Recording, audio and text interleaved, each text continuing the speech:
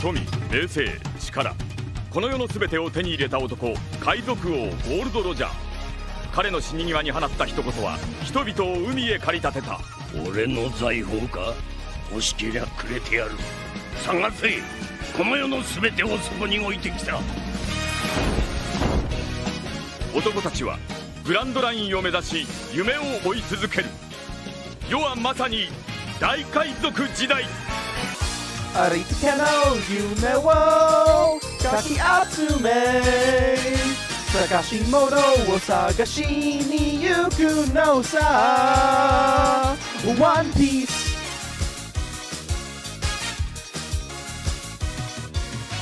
羅針盤なんて渋滞のもと夏に生かされ舵を取るのさ。誇りかぶってた。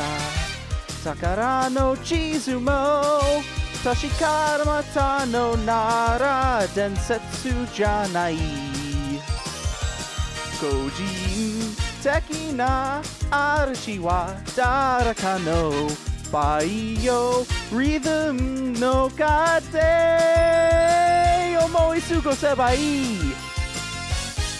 Arita Kano Yume wo Kaki Atsume Sagashi Mono wo Sagashi ni Yuku no sa Poketo no coin So that's who you wanna be my friend We are, we are on the cruise! We are! Hey, bitches and bros and non binary hoes. It's time for a very special episode of the Pirate Odyssey. Ordinarily, this podcast is about a longtime One Piece fan, myself, Sour Lemon, discussing the experience of watching the anime with a new viewer, Cam Cam. But today, we'll be taking a detour back to the East Blue to talk about the live action adaptation produced by Netflix, released in the August of 2023. I will be upfront, I am not going to be kind to this series. Almost everything I have to say is a complaint, and I have a lot of complaints. So, if at any point in time you want to interject something positive, Cam Cam, feel free to do it. But with that said, All right. I'll start by asking for your opening thoughts of this adaptation. Um, I did like some parts of it. Like, gonna take my um, sunglasses off 'cause it's I thought some of the some some of the action scenes were good, and um, like the feel of it was really nice. But did it feel like One Piece? No. So that was kind of disappointed on that end. And then in some parts it was really boring, and it, then it looked really bad. So it was just it was very inconsistent, I would say. So yeah. See, I don't even think the feel of it is that nice. Oh my god. I I kind of went in with the mindset that like okay, this is my first like time watching a live action like anime cuz like I'm not into that. But um Rightfully so- so. yeah. So like I kind of went into it like okay, well like I'll think of it as kind of like it's kind of uh, inspired by One Piece. So like I wasn't like going in with like really high expectations, you know.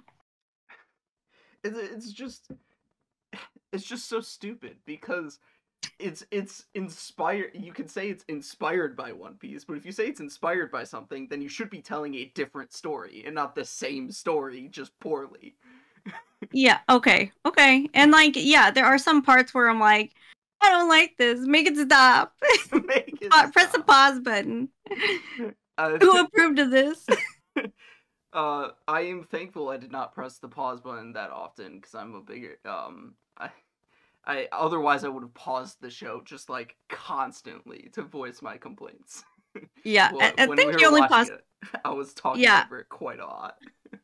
Yeah, I was surprised you didn't. I was expecting a lot of pauses, and I was surprised you didn't. So, like, good for you. You know, we are very impressed. Especially the second uh, session, which was the last like two episodes, maybe three Yeah. that we watched. Uh, it was a bit late into the night, so I definitely didn't want to pause it then. But even for the Yeah. first session, is like, uh, it doesn't deserve me pausing it. I will just talk over it the entire time. Uh, and Yeah, it was very. Uh, it was very sad. Definitely. Th- those last bits, very sad. I was very depressed. very depressing I- how bad it is. Yes, very. So like, you know, I was not impressed. Um, it's also worth noting that my notes, uh, unlike my notes for the actual series proper, are a lot more specific but less uh, indicative of what in the plot is going on. So if I ever read a note and I'm like, wait, why the fuck did I write that down? Don't be surprised. Okay, okay, yeah, yeah. Yeah, mine is like um cuz like mine's kind of an order of kind of like what happened. So yeah. And I I didn't I tried not to compare it too much to like the manga cuz like I said I was like thinking of fired. If it's gonna Um, call itself One Piece, then I'm going to compare it to One Piece. They you like they So- asked for it. They should Yeah, called so- it Two Piece. Two piece. but I feel like I've heard there's a lot of like with a lot of live action anime that's like the complaint is that like they're not it's I guess people are expecting like a 1v1 and they're not. Like there have there are a lot of changes in live Uh, action anime. Yeah, because those changes are what makes it worse and bad. Yeah. So like, I don't know if that's like people want like a one to one adaptation because Mhm. so far every time they haven't gotten a one to one adaptation, it is because it's not one to one that it's bad. yeah, uh, yeah. in addition to like other uh, poor reasons. But like the reason why people don't like Death Note is an entirely tonally different from the original Death Note. It's about it's uh, more like a horror slasher film than it is a uh, dram- dramatic thriller. The reason people Yeah. don't like the uh, Ghost in the Shell adaptation is because instead of an evocative, thought provoking sci fi, uh, it's just a generic Hollywood action flick. Um, Yeah. it's like you if you want to call the series by the same name there sure there's definitely going to be compromises you have to make in making it uh, with real people especially like say in one piece where Mhm. uh, people are constantly making facial expressions that don't make sense um, Yeah, yeah. but you at least should maintain the tone of the series. You should not completely change the tone. And as they did here in the live action, also fail to understand the purpose of any particular character or plot and thus Yeah. completely fail on those ends as well. Yeah. Yeah, I, I I guess I, I guess I would agree with that. Yeah, because like it tonally was it was very different. So yeah, that I would I would agree with that.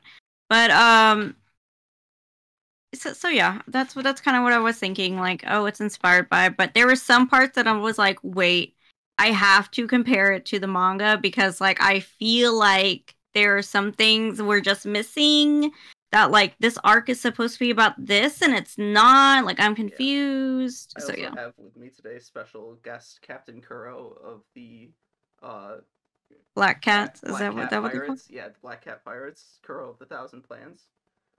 Hi, Captain. Yeah. What's doing? He's Oh, gonna scratch you. What are you gonna do when he scratches Nah, he's you? too kind. Yeah, he's like, get away from me.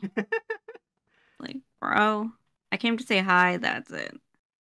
So, as with the uh, actual, as this is more of an adaptation of the anime than the manga for Mhm. somewhat understandable reasons. You know, it's more analogous of a medium. Um, and so, rather than start with the Luffy backstory uh, with the romance on on the with Shanks, uh, it opens with the opening that the anime uses for the first like massive chunk of the series with like the Gold Roger King of the Pirates thing. It it opens with Roger's execution because it actually like Mhm. does it. Um, and the way it starts with this, I immediately don't like because it like shows you a map of the world and then it like zooms in on the map in this like uh, visual effects uh, thing, but the map doesn't look like a real map. uh, Yeah. and I get that there's animation going on on the map. They're, they're like animating some like sea monsters and ships that are graphics on the map. Um, but usually when you do that kind of thing, you want those things to also look real. Like you want it to look like a real map, just that the drawings on the map are moving. Uh, but instead, it it's it doesn't. It it just looks it looks an it looks like it's animated. Um, and it's Mhm. also got a weird yellow um filter on it. Yeah, see, like, eh, that, that didn't that didn't bother me too much. But I, I think what we talked about when we watched it together was like the opening words, and Yes, you were like, that "That's what next- pirates do. That was my next. That's what pirates do." Like, Yeah. what? Why are we explaining what pirates are? yeah, my next note. They, the dialogue on that opening uh, Yeah. visual effect is also like, oh, some pirates like pillage and and uh, steal and and do all bad stuff, but other pirate, or actually, it doesn't even say say that. It says that pirates are all about like romance and adventure or whatever. And it's like. Why are you directly explaining what a pirate is to the audience? Yeah. This is what your show should be demonstrating through the actions of its characters and through the plot. You you do you should Yeah. not be telling us what a pirate is. Uh, just establish the setting. Dude, it's so fucking weird. Yeah, Like they I like should not have had that opening bit at all.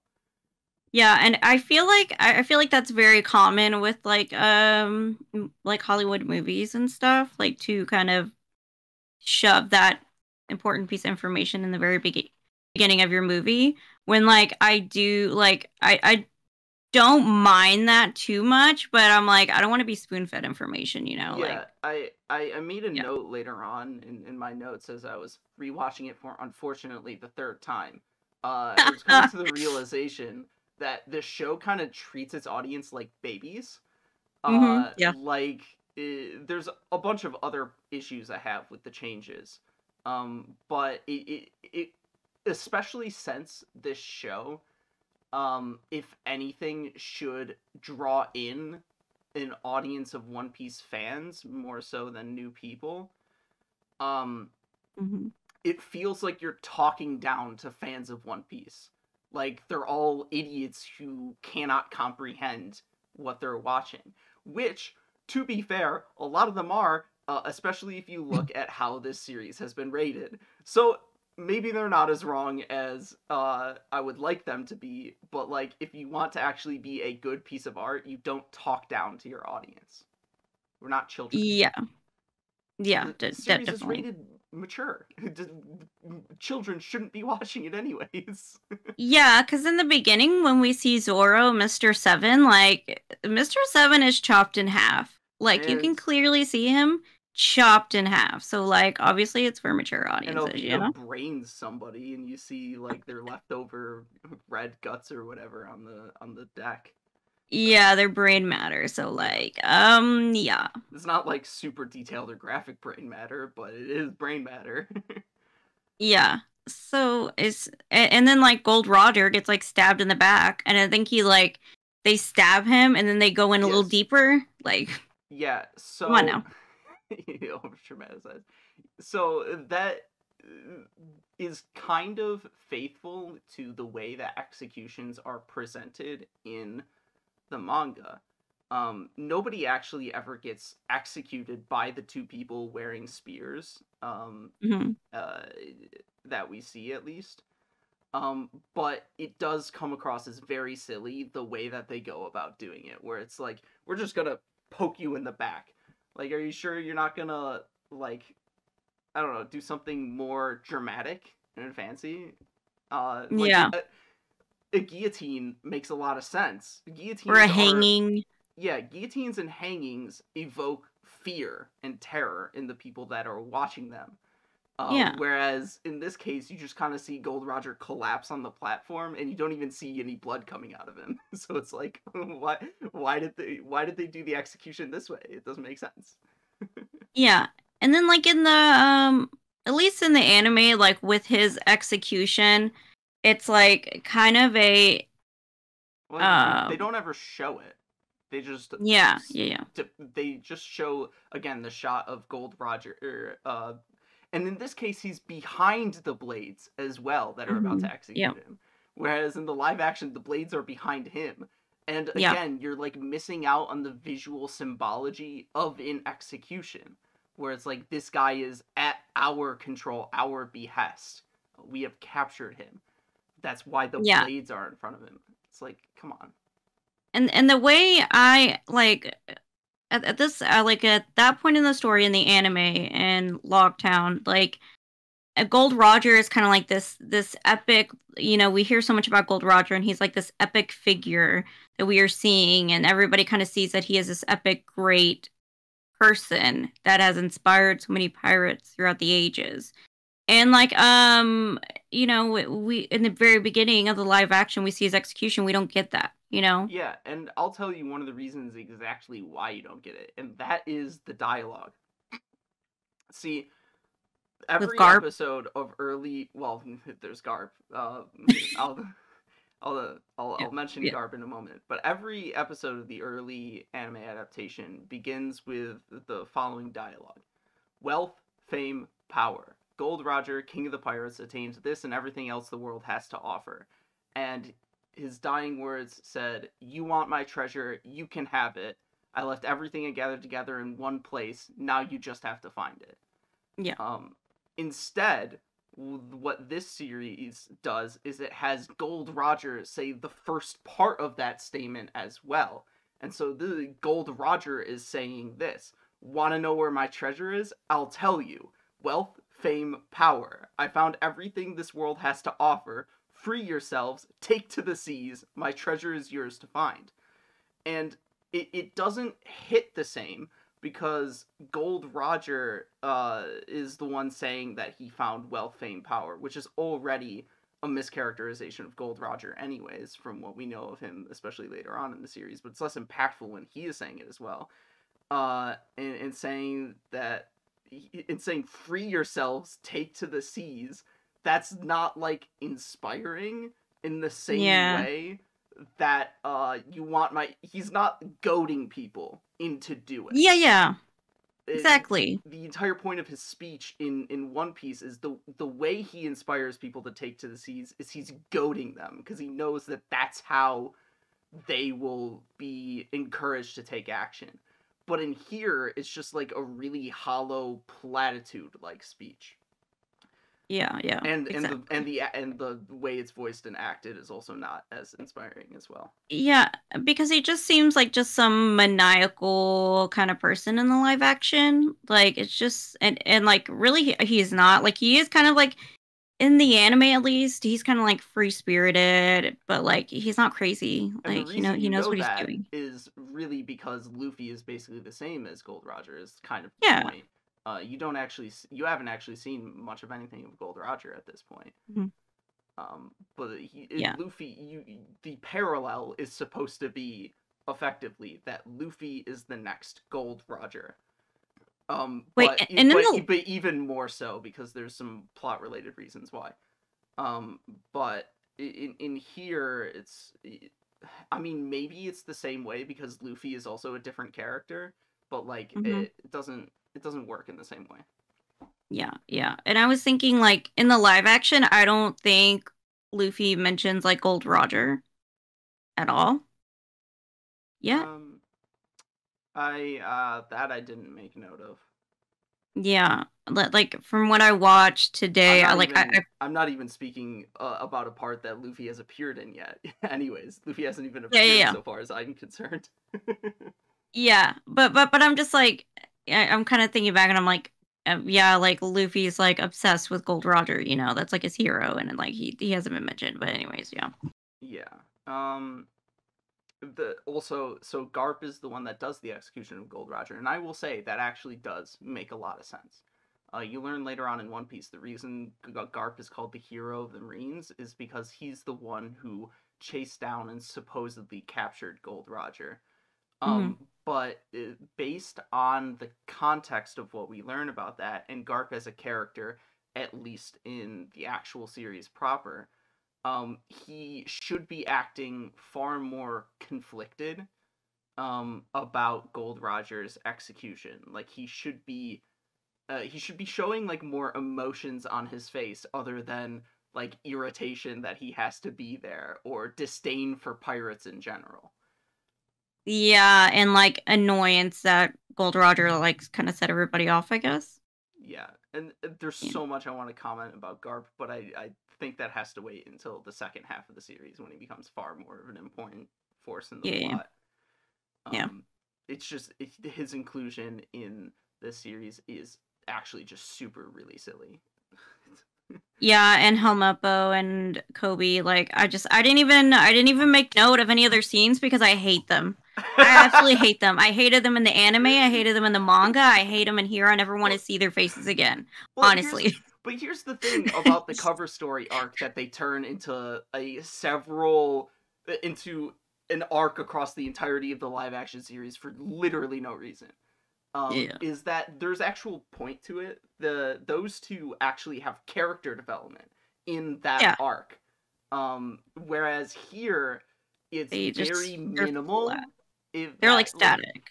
yeah, uh, Koby is made out to be having some character development, but the way it's done is just way less interesting and impactful than in the um actual arc where he decides to like where him and Helmeppo are getting like super buff and training super extra hard and, And- they have and- and- and kinda like about like how difficult it is to to get promotions and work their way up and whatnot. Yeah, and the the way they fight, like the conflict that they have, like like they're much more like at each other's throats in the like in the anime. Yeah, you I think they the actually fight at one develop. point. yeah, they do Yeah. actually fight multiple times actually. Yeah. Um, it's the reason that Garp even like takes them aboard his ship, if I remember correctly. Mm-hmm. Um, Yeah. no, no, it's not. No, it's not. I just remember they fight in like the very beginning of that cover arc, which causes like a cannon to explode and blow. Oh, yeah, yeah. And so they're they're supposed to work as swabbies an extra like few decades or whatever. Um, Yeah, yeah, that's right. and and Koby in response to that is like, uh, I'll do whatever it takes to be a Marine officer. I don't care if I have to work an extra twenty to thirty years. And Mhm. and that attitude rubs off on Helmeppo, and then Garp also sees that attitude and is like, I want to take you under my wing. It's like this whole thing. Uh, and you just don't get that here. Garp, ju- Ka- Garp like sees potential in Koby that like you don't see as a viewer. Um, Yeah. He he sees that he ties a knot good. yeah. Okay. Yeah. Whoop de doo! Wow. He sees that Koby is willing to tell the truth about his circumstances, but only to Garp. Yeah, only to Garp and like under uh pressure. yeah. That's just stupid. Oh my god. I just whatever. I hate I hate them. Garp is Moral of the story, I hate them. Character. It's just a different, just like every other character in the live action. It's just a different character. But I still hate them. Yeah. It doesn't make me not like them. you know, like come on, at, least make them likable, but I just don't like them. Um, I would also like to say that I think the that the orchestral version of We Are that they created for the live action also kind of sucks. Um, Yeah. especially Yeah. compared to the actual song. Yeah, I did not like um I did not like any of the music in this uh No, in the show. I, I think that orchestral version of We Are is the closest it gets to being like decent and working. Mhm. Um, but it just doesn't have the same energy as the actual We Are. And of course they stripped away the lyrics that that do have meaning associated to the series. Yeah. Um, Yeah, exactly. and uh, all of the replacement music has none of the impact that the corresponding music has uh, in the anime. Yeah. uh, It's just very the- generic. Yeah, the one particular scene, of course, is in Arlong Park, and you know we'll get there um, eventually. Yeah, yeah, yeah. yeah. Mm, Bummer. Bummer, bro. Yeah. Um, so after all of that opening stuff, which again uh, sucks, uh, I I have I ask the question: Why start on the boat uh, with Luffy by himself?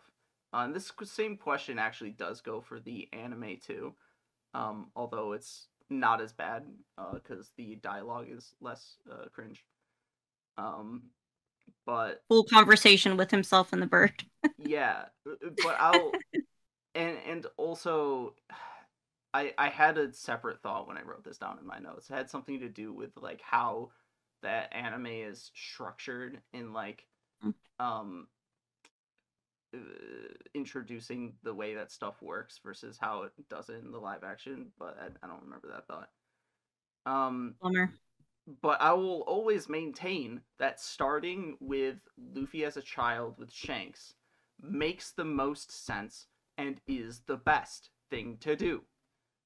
Uh, Yeah. it it, it if you de- if you took all of the Shanks scenes that they made, uh, spread throughout the first two, I think, episodes of the live action, and put them in one episode alone at the beginning, that would be an extremely effective way of introducing your main character, uh, what his like abilities or whatever are, uh, and more importantly, the themes of the series and what it's about. Uh, And it introduces and it introduces you to actual pirates and what the and what the pirates are about. You know, yeah. In, in- instead of like spoon feeding us the information. You know. yeah instead of trying to like mix it in with what's going on um and to be fair in in the case of the anime if i remember correctly they do do it all at once in a, in a dedicated episode after Yeah. the initial uh like boat and Alvida stuff Mhm. um which is again way better than doing it in the way that the live action does cutting it up Yeah, I didn't I didn't like that either because like it's what is it? It's cut up like across like two two episodes. yeah it's cut up across the the first two episodes um Yeah, and the and it- and it- what each episode is like an hour long. It's just, Yes. it's there's just eight annoying. episodes each an hour long Yeah, it, and I just I hate when like I don't know I I hate in shows like where it's just like where it just like pauses like it just cuts the story off pause Yeah. when it's just like oh, you could have So- like fit that in in its own separate thing or just put it all together and not like put a stopgap in the main story that's going on. So this is a thing that's very common in um, Western television shows or uh, in Hollywood television shows, where Mm-hmm. they have multiple like plot lines or ideas going on that they want to show simultaneously, and so to break up like the pacing, um, oftentimes they'll show multiple different uh, perspectives or or uh, the points in like time or whatever happening in the Mhm. same episode. Um, and you know, depending on the show, it might work. Um, but there's very good reason why One Piece as a series shows the entirety of its flashbacks in one contiguous form at a client, oftentimes, uh, especially later on in the series, for right now, for in the East Blue section, it doesn't do this. Um, but it'll do it at like a climactic scene in the uh, action. Uh, it'll cut to a flashback. It'll show the entirety of the flashback, and it's like, damn, now I'm even more emotionally invested in what's going on. Back to the action. Yeah, Um, yeah, yeah, definitely. instead here it's trying to create like parallels between the flashbacks and what's currently happening oftentimes in the most like silly and contrived ways Yeah, because Um, I'm like I'm like where's the parallel? I don't get it. yeah so but- what what my thought was. yeah uh, and also on top of that it needlessly breaks up the action um be or, or breaks up like the pacing because as it stands the way that the pacing is there's no need to to cut away to anything else the, like you know you don't need to to transition or anything you can just keep going well, why don't you just Yeah. keep going Yeah. Oh, and then like it was so dumb, like the way like Lu- Kid Luffy like stabs himself under the eye. He literally like shoves the knife under his eye, and it looks like he shoves it pretty deep, which is this little bitty scar. I'm like, bro, you you trying Well- to take out like the your bone? Like I'm just confused. I was I- I just mean, like, it was I don't have that much of a problem with how that was presented, to be honest. And the entire like uh thing with Luffy's stabbing is that he was actually aiming for his own eye, um, at least in Yeah. the manga. Um, and he just Mm, whiffed. okay. Uh, Yeah. So it, it like makes sense, but as as we talk more about the each every flashback, I'll mention how shit child actors are. Poor munchkins, man. They're so cute though. Like Uh, they're trying their best out here, okay? I mean, Luffy, Luffy's and Usopp's. Um, I haven't. This is going to be more than one like part, uh, as indicated by like the thumbnail that I made that I showed at the start of the, uh, Mhm. Uh, and will be on the YouTube. Um, this this will be more than one part. Uh, in part because we only made notes for like the first four episodes, but also because I have a lot of fucking shit to say. Um, Yeah.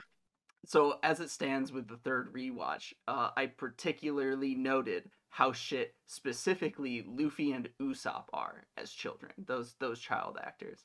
Zoro's child actor actor does an okay job for reasons that I'll talk about when it's relevant. Uh, but those Yeah. two in particular do shit job.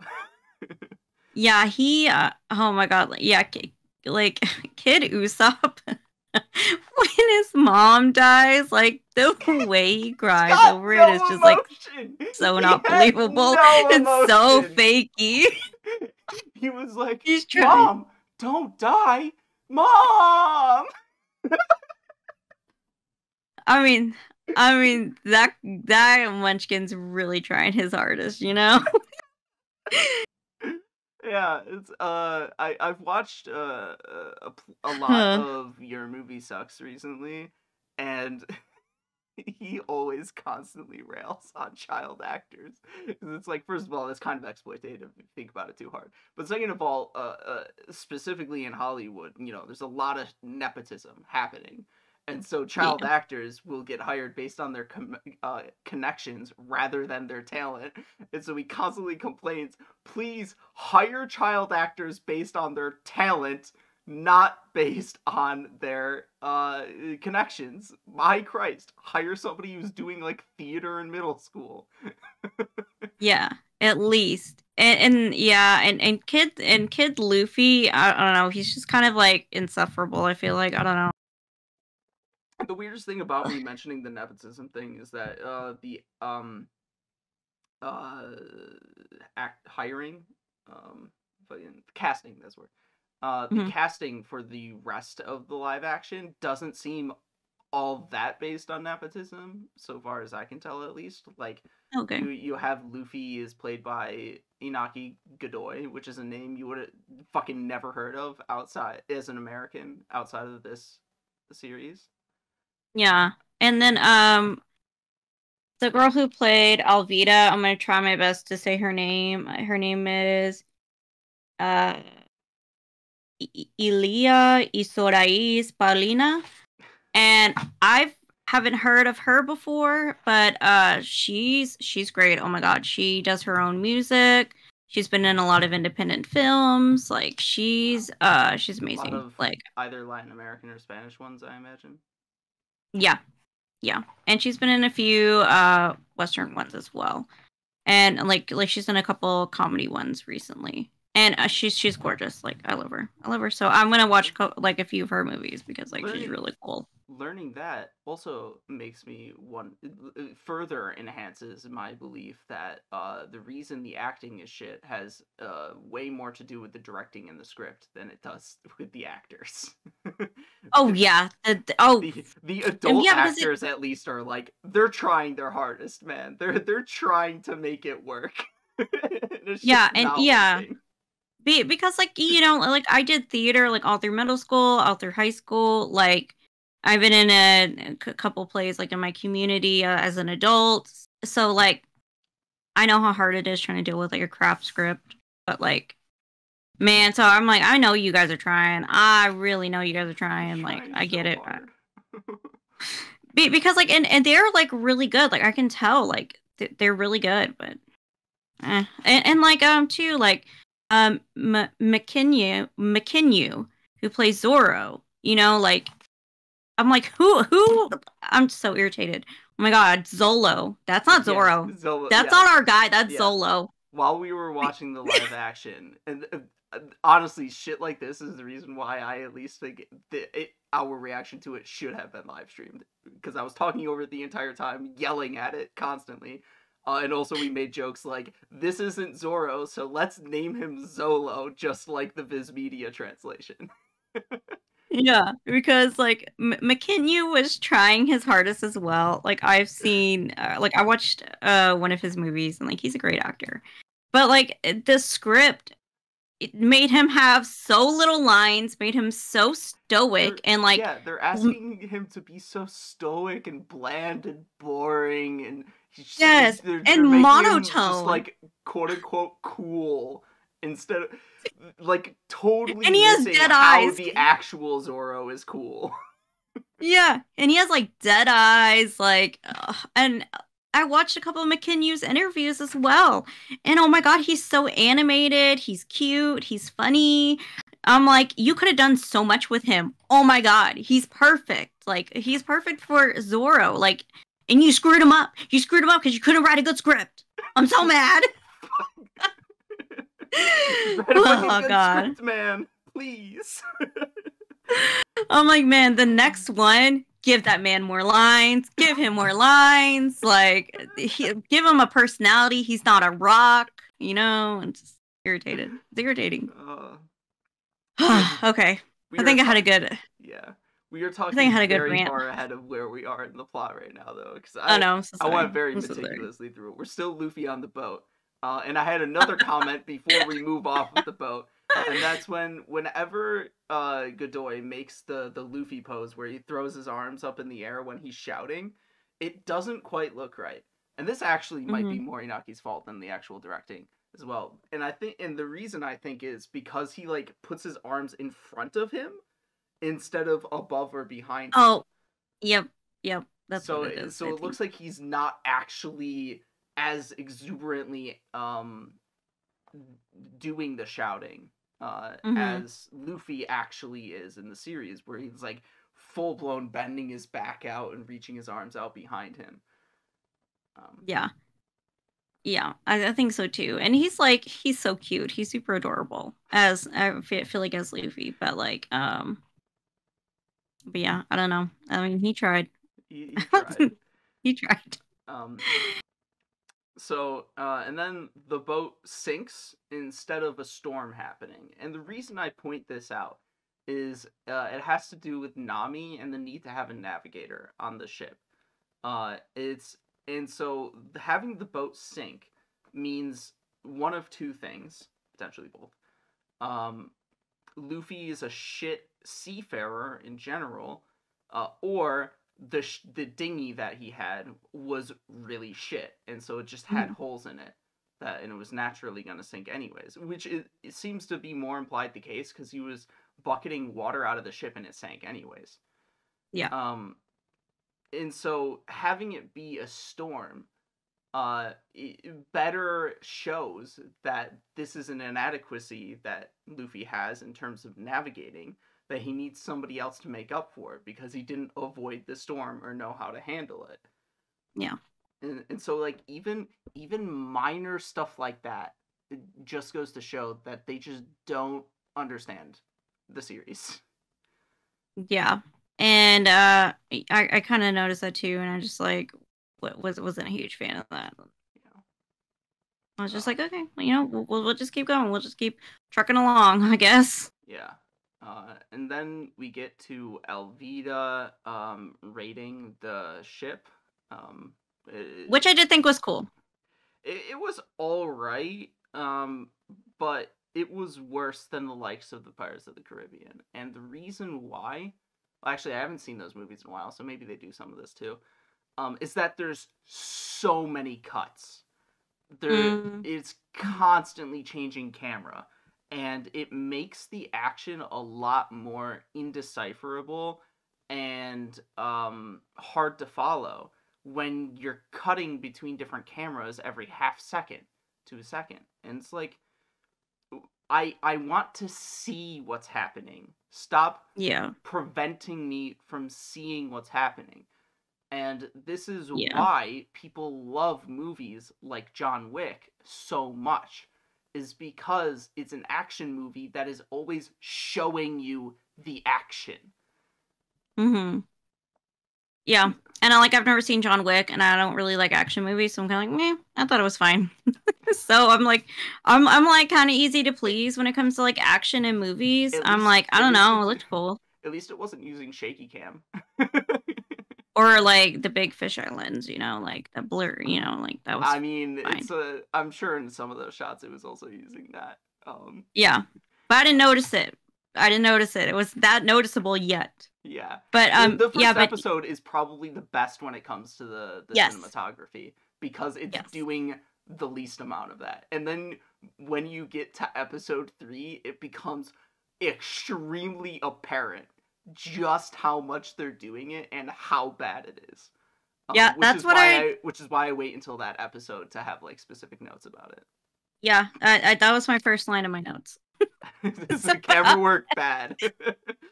literally and um yeah and Ilya uh she did that stunt by herself when Alvida is like um hanging from the rope and sliding down um she she did that stunt by herself so I thought that was cool she didn't use a stunt double or anything Do your I was like, good for her.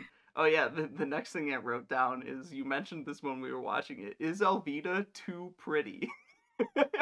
yeah because I saw because I was like I was like who is this actress oh my god she's gorgeous like I love her and it's a Latina okay And Alvida And then- is supposed to be really fucking ugly, and that's like the entire point behind her character. She's really fucking ugly until she eats the Slim Slim fruit. Then she's yeah and, and yeah because the people on twitter were like or- oh no it was on reddit people on reddit were like is alvida too pretty i'm like shut up I mean, they have a point. I, I'm I'm not gonna like comment on whether it's a good or a bad thing, but I mean it is a thing. i mean i thought it was fine like i thought she did a good job playing alvida and like getting alvida's character of being like this kind of menacing like um Narcissist. Most- yeah, narcissist and, like- early One Piece villains are just narcissists. yeah yeah and and, and like uh man in her battle axe that looks like a uh that has it has like the pink stones which she uses to like bash people's heads in i'm like dang that looks so Yeah. cool I thought it was interesting. They had like I Yeah. think it was like three different maces uh, Mhm. that she had to use. I thought that was interesting and neat. Yeah and i thought her outfit like really matched what alvida would wear like her hair looked great like i'm always like interested in like costume designing makeup like and so i thought i thought they did a great job like a plus you know for me and she did her own stunts like good for her love her Uh, I, I did find a little bit of her dialogue a little uh, odd though because it was she wanted Zoro to come after her, Zolo. Yeah. her. And it's like I I get that you're a narcissist, um, and uh, you know it, it would I would I guess be good for your reputation if you took down a notable bounty hunter, but at the same time like you you want him to go after you. And yeah i'm, I'm I- like, do you have a crush on zoro because that would make sense you know like I, I don't know what the But- highest. I don't know if it's ever revealed the highest bounty he turns in before he joins Luffy, but I wouldn't be surprised if it was over five million. If it was over Alvida's. Yeah. So it's just like, yeah, I, I didn't understand that bit either. Um, because like uh, the in the anime, like she doesn't even does she mention? No, I think she does mention Zoro because like I think Zoro is after maybe. Did, does she mention Zoro in Um, the anime? she- No, I'm not sure. She, uh, she does, but not to the extent of like I want him to chase after me. Yeah, yeah. Uh, But it, that would be a very minor line, and I don't remember clearly what it is. Yeah, but it's almost like you know, like a weird. It's just like a weird thing to bring up in the live Yeah. action. I feel like, but like, yeah, Not not just as like, weird mm. as some of the other things they bring up. yeah, definitely. um. And so and I thought like- the sh- and I thought the ship the ships looked great. You know. Oh yeah, her ship one, looked one of the one of the best parts is the set design. Although there's some time, actually, I think the set design for the second episode is kind of shit in retrospect because it all takes place in that one circus tent, and the lighting is like, uh, Atrocious. yeah, it's it's supposed to be like different colors, like clown lighting or whatever, but then, then it's like. It's In supposed- terms, yeah. in terms of what's the viewer, the, ex- the viewing experience is supposed to be, um, it just doesn't look good. Um, and I think it's also supposed- taking place all in tent is like clearly meant to be uh like a budget saving thing. It's like, oh, we don't have to make as many sets if we all make it take place in one set. Yeah, and that's one of that was kind of one of my gripes because like you you know like I um in One Piece like everything happens all over the place, you know. yeah, adventure. And I feel like so I feel like um they make everything happen like all at once in one space, and I was like, is that for budget reasons? You know, like you, I mean, po- it's possible. Uh, but Or is it just easier on the my understanding, did have a very large budget. so yeah. it's hard to say. Yeah, be- because it just like when everything happens all at once, like there are people involved that shouldn't be, and then you miss out on civilians, and it's just like it messes up the flow of everything. Like, anyways, but that's Um, we can get there when we get there, you know. at the same time, I don't eh, like there were some bad decisions, uh, believe me, about the plot like happening in the way it happens. Um, but in terms of like the moving around and, and the sets and like the locations, I actually don't think it it it doesn't seem to be for budgetary reasons outside of the circus tent. Um, because it would be really easy to make a really really cheap set or even just find a hill for like the syrup village conflict if they were to do it in the same way that they does in the anime um like i guess you would have to do some shipwrecks in water for uh the um Baratie but that wouldn't be that different from what they already had anyways. And realistically even if they had the Don Krieg fight uh it wouldn't have to be like that different. And they showed most of the places in um the the Kokoyashi Village Island place, Arlong Park. Yeah, So it, it actually doesn't seem like they had any budget uh, restrictions outside of the buggy everything with buggy taking place inside the fucking tent with which has like nothing inside of it. yeah. I don't know if they were like trying to make it like a menacing circus kind of thing, like menacing clowns, but like um, weird. Yeah, the, I just it- all it. that failed for different reasons. We'll get there though. Um Yeah, yeah. Yeah. So, uh, it, so the Alvida pirates pick up the barrel out of the ocean, um, and it's the, and it's the middle of the night when Luffy gets out of the barrel, and this is when it becomes immediately apparent that this Luffy is a different character because he gets out of the barrel and he's like, "Oh, shh, be quiet, Koby. Everyone is sleeping, and I don't want to be found out." Yeah, and uh, and and in the anime, like Luffy immediately pops out and he's loud and he's like, "I'm hungry. I'm gonna eat. Yeah. I'm just gonna grab some food." just Yeah. mention away. and, and the plot is deliberately constructed for him to get away with that because it's in the middle of a ship raid going on. yeah, Um, so there are everyone. There's already a lot of loud conflict happening, uh, and so they like Alvida and everybody else doesn't notice when Luffy bursts out of an, uh, a barrel and takes out a couple of her crew when it's in like a remote kitchen storage area. yeah, and um, and and I I, love uh, uh, I, I do like in the live action when Koby and um Luffy are talking.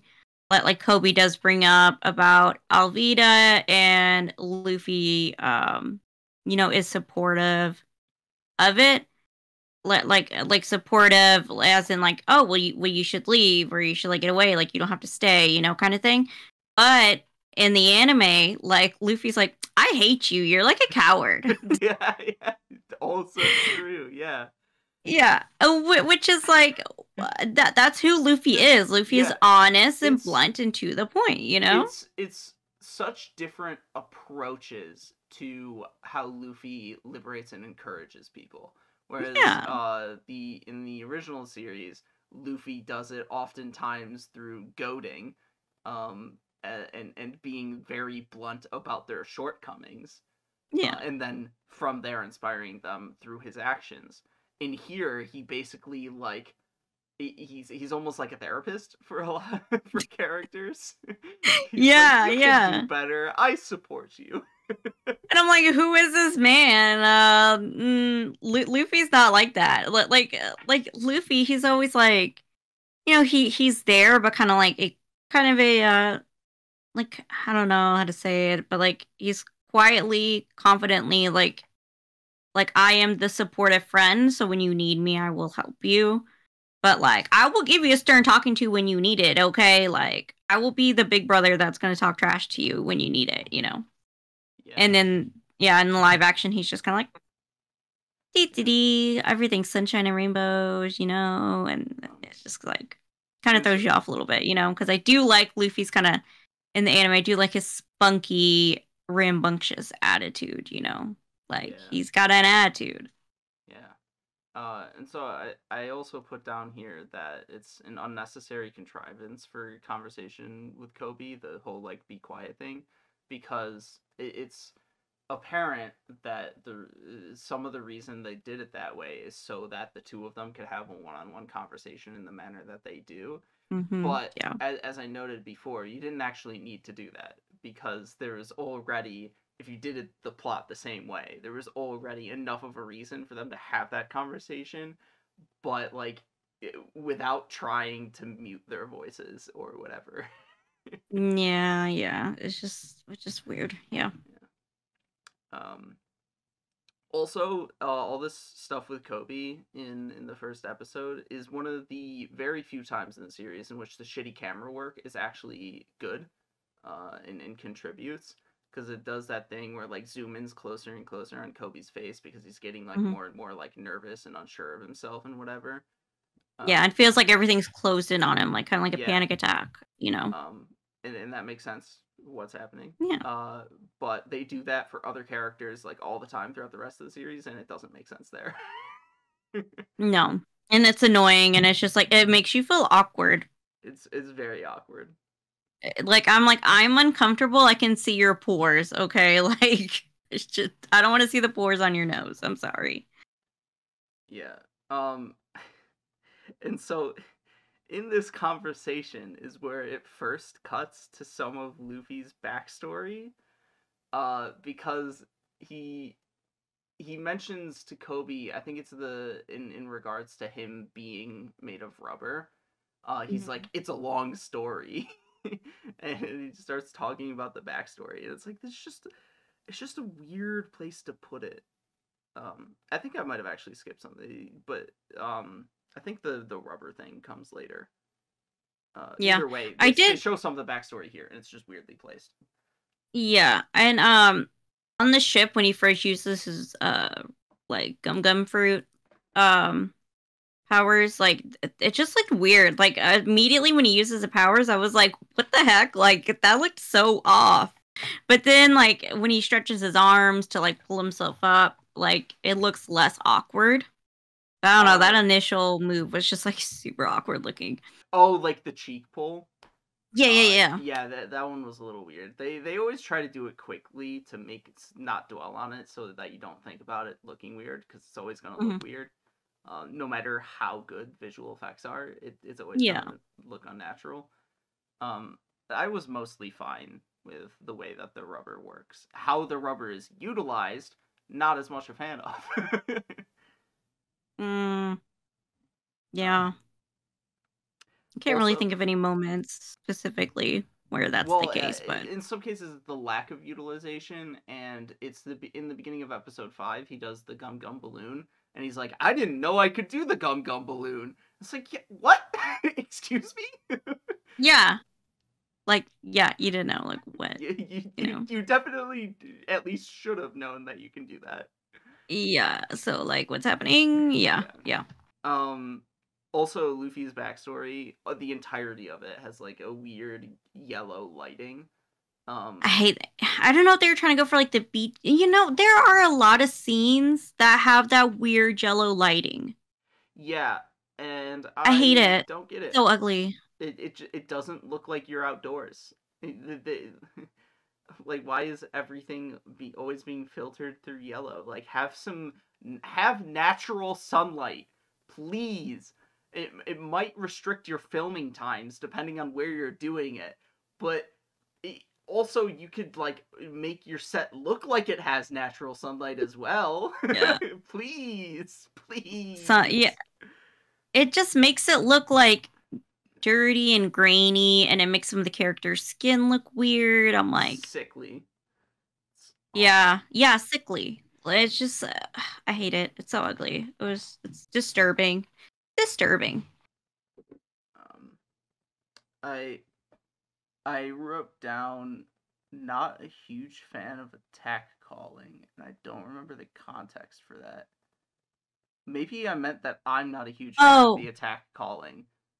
Uh, do, do you mean when like Zoro no, that that's like later. That's later. okay okay Um, I think I wrote that down because I'm not a huge fan of how it's done.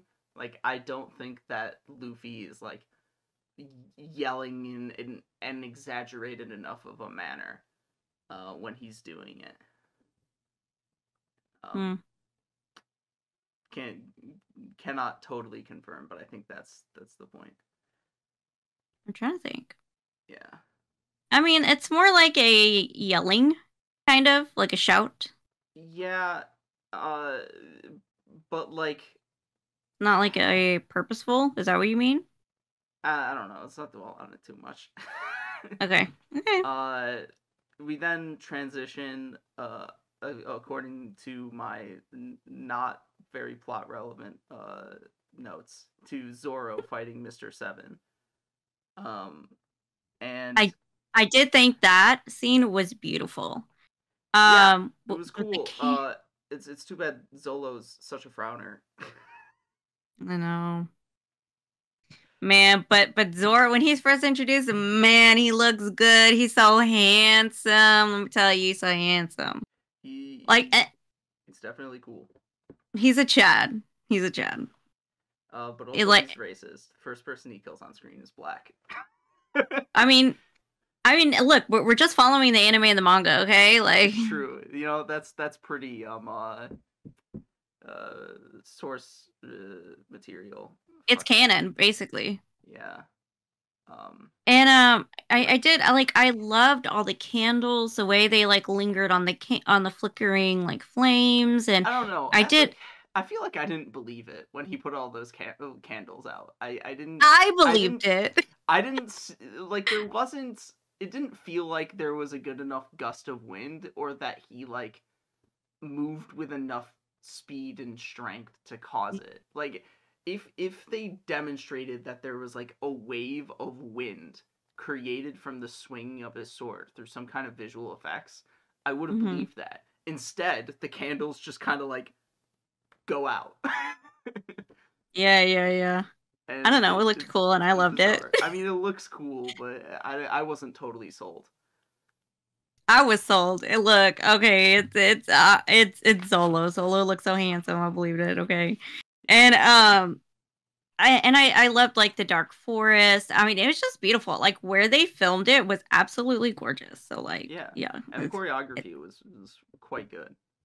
Oh yeah, the the action scene w- was great. Like, uh, let, let me tell you, M- Mackenyu worked worked hard to like get that get that done. So like, good for him. Yeah.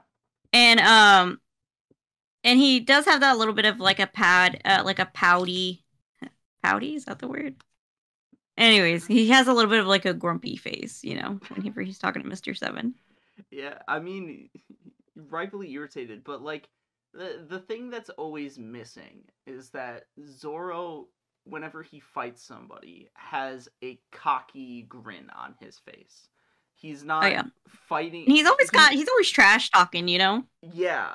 Uh, well, he is trash talking in the live action too, but he's doing it with such like a, a serious, Bored tone. sarcastic and bored tone. Uh, whereas Doesn't hit, you know. Yeah, whereas actual Zoro, he, like that that cocky smile always does so much to make him seem like more threatening and bigger and more than anything cooler. Um Kind of like rebellious and yeah, like you know. it's because it's not it's not just confidence that he's displaying when he wears that smile but also his like uh how much he loves fighting and his determination to to get better like it, it shows that he's excited about anyone that he fights in duels for whatever reason it might be whereas if he's never smiling and he's always bored and serious it's like uh, do y- I, I thought you wanted to be the world's greatest swordsman. Why do you look so unenthused about getting stronger and testing? yourself? Yeah. Yeah. And um I guess I can't well, I guess I'll bring it up now. But like um e- like even like w- when he's tied up in the yard or like where he's got to be tied up for a week like i think luffy is the one that's like well don't you want to do something different? Don't you have a dream? I'm like zoro already knows what his dream is. Like he doesn't need to be reminded of it. Like what? I'm confused. Luffy, Uh, Luffy the therapist you know? Yeah, Luffy the therapist. Um, uh, because that's the point like of one piece is that everybody has their own dream that they don't need to really be reminded of it you know? They're all chasing something and they know it you know? Yeah, I actually So- it, I, I- to but to the credit of that scene, despite the fact that Zoro is so uh, Zolo is so fucking annoyingly written, um, there were some funny lines where he, uh, such as, "Does the position come with a tattoo on your face?" And if if they actually wanted to recruit me, they should have sent someone better than seven while giving the middle finger to indicate number Yeah, yep. Um, Yeah, yeah, that that that was cute. Oh, That was cute. That was that was clever. It was, it was neat. Um, Yeah. After the Zoro fight, uh, we transitioned back to Luffy and Koby, who have escaped Alvida. Uh, and so Koby asks how Luffy can stretch, and it's like, first of all, I, I think Koby has heard of devil fruits before. Uh, but uh, second of all, uh, Luffy responds by saying it's a long story, and it's like no, it's eh, not that long of a story, at least for the actual Luffy to tell. Uh, you just say you ate a fucking devil fruit.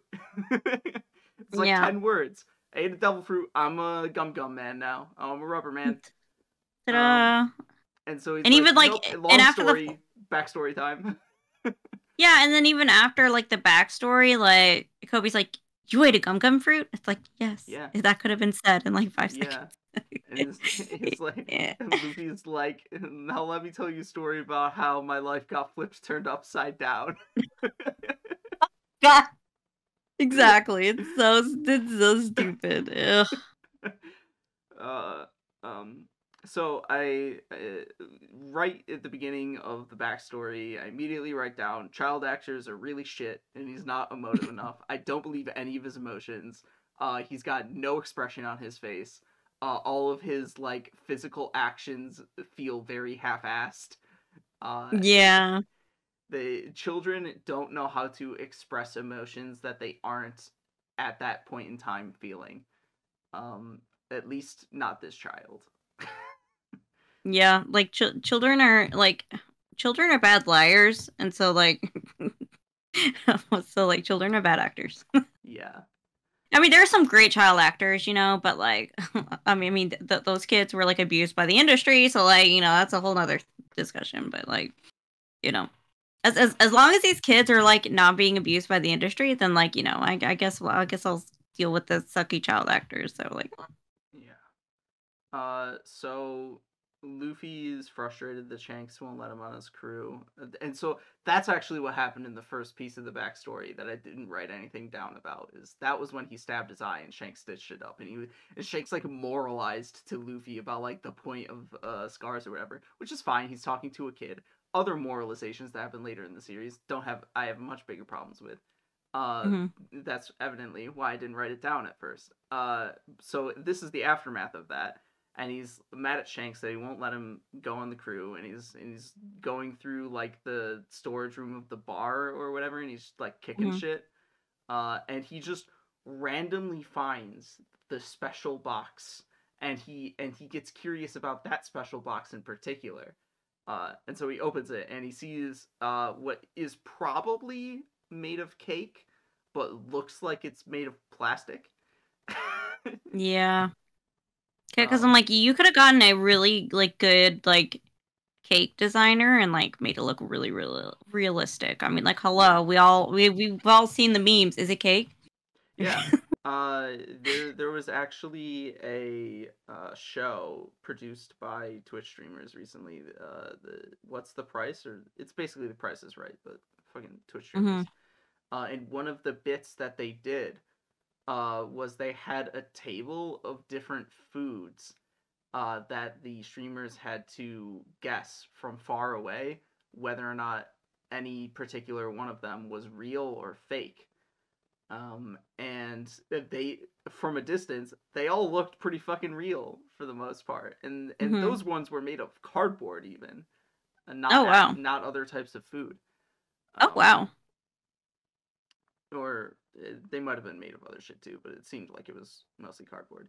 Uh, point being though, like you can make fake food look realistic, uh, or other food look like other food, and this one just it did not. Um, It didn't pass. yeah, it And I did- pass. I didn't like Shanks' actor. I to be honest. Sh- I thought Shanks' actor did a fine job. Um, I, I didn't. I didn't really. I thought he was boring. I don't know. I think that if I think that might be you finding the writing more boring than the actor. Maybe that was it. Yeah, I- I That don't- probably was it. I don't think the actor did that bad of a job, except for maybe the point where he scares off the um uh sea monster. Uh, he, I think, I think he probably could have looked more intense there instead of relying on the visual effects to do it for him. Um, Yeah, because like Shanks in the anime, like he actually looked like scary, you know. Well, yes, there's that. But now that you remind me, uh, while I didn't have that many problems with Shanks in the live action, he is also distinctly worse than he is in the actual series. Uh, anyways, because he's a lot more rambunctious and expressive in Yeah. the actual series. Yeah, and like um he is he's kind of like a big kid as well, I feel like, you know. Yeah. And- and here it seems like he- he's much of a parent. Yeah, exactly. He's more of a father figure, you know? yeah. Like an actual father. And um which is like fine, but like it's not Shanks. So like Yeah. Yeah. Uh, so it, also in regards to the devil fruit, uh, I have to ask the question: Why did he eat something that tastes like shit? Uh, devil fruits canonically taste like shit. So why did he take a bite of the devil fruit and then think to himself, "I'm gonna keep eating this"? and he even says like later on in that flashback like do you do you know anything about devil fruit? Yeah, they taste bad. It's like, why did you keep eating it? And the Like- reason I have to ask this question, it ties into my other question of why did he eat it like this, is because the way he ate it originally is he was really distracted by something else going on, and Mhm. he just like casually put it in his mouth. Yeah. Whereas here he he like saw the super special box and he opened the box out of curiosity and he and he like thought to himself I I want to try this thing that I see or whatever. It's like And took multiple bites out of it. Yeah. Multiple and he was savoring each bite. he really was, man. He didn't even shove the whole thing in his mouth. Oh, he was, you know, like chewing it, savoring it. Like Yeah. It had to have been something good. That that little kid actor must have been eating something good. Yeah, I mean, I'm not surprised that the food that they made him eat tasted good. If, if they actually had him eat something, it's there. There were multiple shots edited together in that one bit, Mhm. so like it's entirely possible that they didn't have him actually eat anything. Um, but Yeah. yeah, I, I wouldn't be surprised if he ate something good. Uh, it's just that you you then have to make him act like he's eating something bad, and he didn't act like he was eating something bad. He just I- he just ate it. I think he kind of winced like at first, but it was very like poorly. Like he was kind of went like, mm. and well, that it was wasn't it. it, wasn't And it was- distinctly a wince. Uh, like you should have him like spit him out, spit it out as though it tastes bad. yeah, and then just be like, "Mm, ah." I mean, I, some kids do that. Like when I worked in daycare, like th- there are some kids that would eat something like kind of sour and they'd spit it out, and I'm like, oh, why don't you take another bite? And they're like, okay, you know, like, and they'll keep eating it, something like Yeah, that. Like, it's- I mean, uh, it's just stupid. Yeah, they could have tried harder, basically. I also have a problem with Makino, which is the bartender at the bar. Um, in the original series, she almost always has like a smile on her face, and she's Yeah. a rather like jovial, happy-go-lucky person. Uh, whereas here, she's always frowning. Mhm. Just always frowning and She's serious. Yeah, complaining. so silly. Yeah. Um, Yeah, you know they they tried, but uh, I mean, she They they told her boring to do the wrong thing. They gave they gave the actress playing Makino the wrong set of instructions between either the writing or the directing or both. This is the wrong set of instructions. Have her yeah, smile. I don't Have everybody smile more, for Christ's sake. have everybody look like they're having a good time filming. Okay, makes this a fun series? Why is this one not fun? it doesn't feel fun. It feels like a very serious and like Usopp's uh actor is like the only one having fun, and then uh, Luffy's act. Luffy is the one that's supposed to, if anything, make everybody else in the series try to have more fun, like in terms of the writing, and he Mm. ne- and nobody else has fun, and even Luffy Yeah. kind of doesn't have fun for half of it too. Yeah, and then I was kind of like thinking, like when I was watching this, I was like, you know, One Piece is like this happy, like fun, like adventure. Yes, has serious moments, but like you know, it, we overcome them, and and we're happy again, and we feel f- fulfilled. And it's just like this one doesn't have that ring to it, you know. It's just not fun. Um, Yeah, it's not a good time, bro. Yeah. Uh, so uh, then you have the the guy walking into the bar, uh, the the grouchy mountain bandit, and he shatters the bottle, and it's the camera shoots this super dramatically. The way he slaps the bottle on the table and it breaks. Go real close up. Yeah, and and I think they slow it down a little bit too. Yeah, because you can see Uh, the individual pieces of glass. yeah and and what's weird about that is that in the original series he shatters the bottle over uh shanks's head so he drenches shanks Yeah. in liquor too instead of just the bar and the ground which is more dramatic and more offensive um Yeah. And it, and it shows Shanks is definitely the bigger man for like letting that happen, you know. Yeah. Um, the next thing I know is not is is out of the the backstory. You have anything to say about anything more about that portion? Yeah, I think I'm good. All right. So when he's conversing with Koby um about this stuff and he gets Koby irritated at Koby's lack of self-confidence, he slaps him. Uh and what is always the case in the original series when the other characters think that each other are acting stupid uh, is they whack him on the head with a fist. Mhm. Uh, and I have to, and I wonder why would they have Luffy slap Koby instead of whacking him on the head? I, I I don't understand like what the purpose of that change is. It doesn't necessarily change anything important, but I don't understand why you would even change it at all. Yeah. I don't know, maybe they feel like a, knock on the head is like um Too aggressive. yeah, maybe it's like too aggressive. Like in anime it's like oh in anime it's kind of expected. Like a lot of people like like Sakura no- knocks Naruto in the head a lot like that, you know, and so like Nami does it like all the time, extremely frequently. And so going forward, as as they do at least one more season of this, uh, because it has been greenlit, uh, you're you're cutting you um, this kind of subtle change already changes drastically a lot of character ac- interactions going forward uh, because Nami will no uh, well apparently no longer be whacking Luffy and Zoro and others on the head to keep them in check. Yeah. And and and that's and that's yeah, that is how she keeps everybody in line. Like when everybody's arguing with each other, she just whacks them and they're like, "Oh, okay." You know, that they're like "Fine, scared. All right, yeah, got a point. we'll listen to the navigator. The navigator's always right. yeah.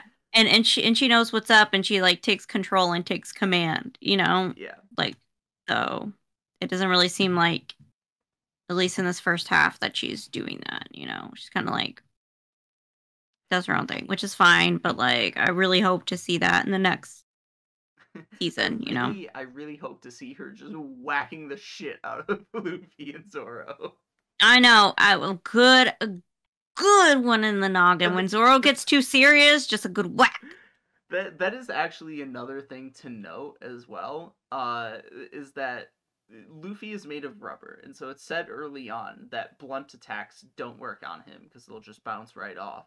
Uh, but Nami's punches are repeatedly shown to have an effect on him, generating like wounds and bruises on his face. Mhm. And you and you miss out on like that sort of subtle uh gag that only works in the subversion of the established mechanics of the of the world. Um uh, you- you're you're missing out on on minor stuff like that. It's like, come on, guys. Yeah, and then like they do have that gag where it's like, "Oh, we're not a crew," and it's like, okay, it's not funny anymore. Well, yeah, well, the, I have a problem with that gag though, not because it's not funny, but because Zoro, says, lea- Zolo should at least feel like they're a crew. so Yeah. why? I, I, Nami is one thing because she like hates pirates. She has reason for it, and she it, it never uh admits to being a part of Luffy's crew. Why the fuck? Whatever. Uh, until after the Arlong Park stuff happens. Um, Mhm. But Zoro should immediately after what happens in the uh, Marine base uh, be a part of Luffy's crew, and, and he should be accepting of that. "Yeah, he's got Luffy's back. That's his bro. That's his captain." He Yeah. says like, he he says like in one scene he tells somebody like, I think it's uh one of Buggy's crew. Whenever Luffy gets caught by that bird, and um he he tells like Buggy's uh pirates. I think it's the same one. Nami took their ship. Yes. it was- Uh, Yeah, and and he was like, "Oh, you made me lose track of my friend." yeah. Like, come on, man. It, So, like- we'll, we'll talk more about it, but Zolo just has like no purpose behind going with Luffy. Yeah, it's weird. Just- Um, so also Luffy's motivation for going to Shellstown and the Marine base is rather than dropping Koby. Ra- first of all, rather than going to see Zoro and in the process dropping Koby off at a Marine base, instead it's about getting the map to the Grand Line. Mhm. And so this is where we start seeing this recurring um use of the map to the Grand Line being a plot device for everyone, literally nearly everyone except for like Garp. Uh, everything revolves around this map to the Grand Line, and Yeah. it's it's it's very silly because while they might all have reasons for getting the map, uh, it, it it's kind of uh it's just worse than their their actual motivations in in the series proper it, it, it diminishes their characters for them to all and, and diminish, diminishes the emotional impact of any given uh plot of an arc because it's all revolving around this stupid little map yeah, yeah, yeah, definitely. It's just uh, it's it's just a little too much, you know. Yeah. Um, I I also made note when they actually get to Shellstown, they one of the first things they show is a, a contingent of Marines marching through the town. It is the shittiest military march you'll ever see. Uh, Oh, I didn't even notice to be honest, but like, yeah, so i I I don't know if it necessarily is supposed to be deliberately evocative of the Nazis, but it's like a similar kind of style of walk where they're all marching in step with straight legs. It's actually, if anything, most like a, a marching band march, uh, because uh, marching bands actually do that kind of marching, um, where your their leg at least appears uh, straight from the outside, um, while taking oftentimes small steps. But when the military does it, and they're covering like really short distances, stepping really quickly, uh, with the really short steps, it looks really goofy. Uh, yeah, and whenever you have a military march, the point of the march is really realistically more than anything aesthetics.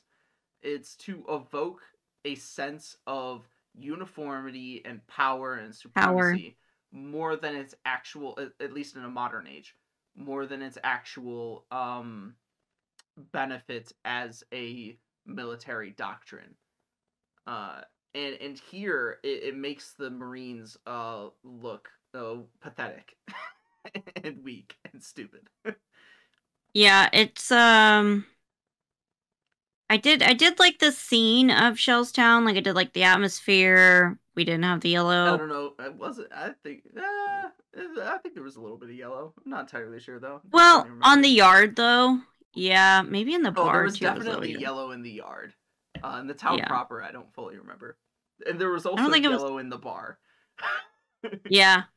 But like but like when you first arrive and like see everything, there's not yellow, thank God. That's what I was thinking this- of. They actually show the sun for a moment. Yeah, thank God. What there's the sun. Oh, I hate that lighting. I hate sun. I hate the lighting and uh, that that was my complaint and too and like a lot of this. The lighting sucks. the light, the lighting is so bad. Uh, All it's just it's driving drove me so nuts. bad. Um. So. Oh, but I there was something that I thought was funny is that like when they get to the bar that like Zoro was dragging around Mr. Seven in a bag into the bar. Like, excuse me, sir? Yes. That's allowed. Um okay. I mean, I'm fine with it being allowed. It kind of like says stuff about the society that they live in, and it's kind of, it's kind of, and it's like intimidating in in some way. You know, like don't fuck with me. Uh, and it's very interesting to know that he's just So dragging around the bag of his bounty. it's just wild, bro. I'm like, that that thing probably smells, sir. It's true. It does probably smell. It's a miracle he kept like the bottom of the black the bag clean. Did, did he have a trash bag inside the bag? Did he double bag it? yeah, he did. He double bag it. Uh, It's just um, it's gross. yeah, yeah. Uh, also, Luffy, Luffy and Koby in the bar.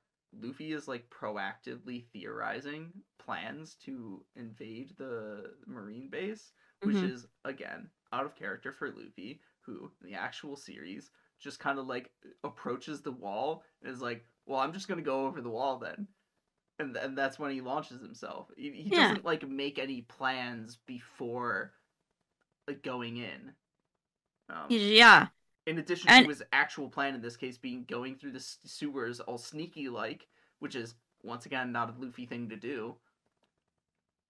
Yeah, and he tells Zoro at one point, like, "Oh hey, like, can you uh, can, can you close this thing behind me? Okay, thanks." It's like, yeah, okay, what? thanks. And make sure nobody knows that I'm here. And it's like, why do you care so much?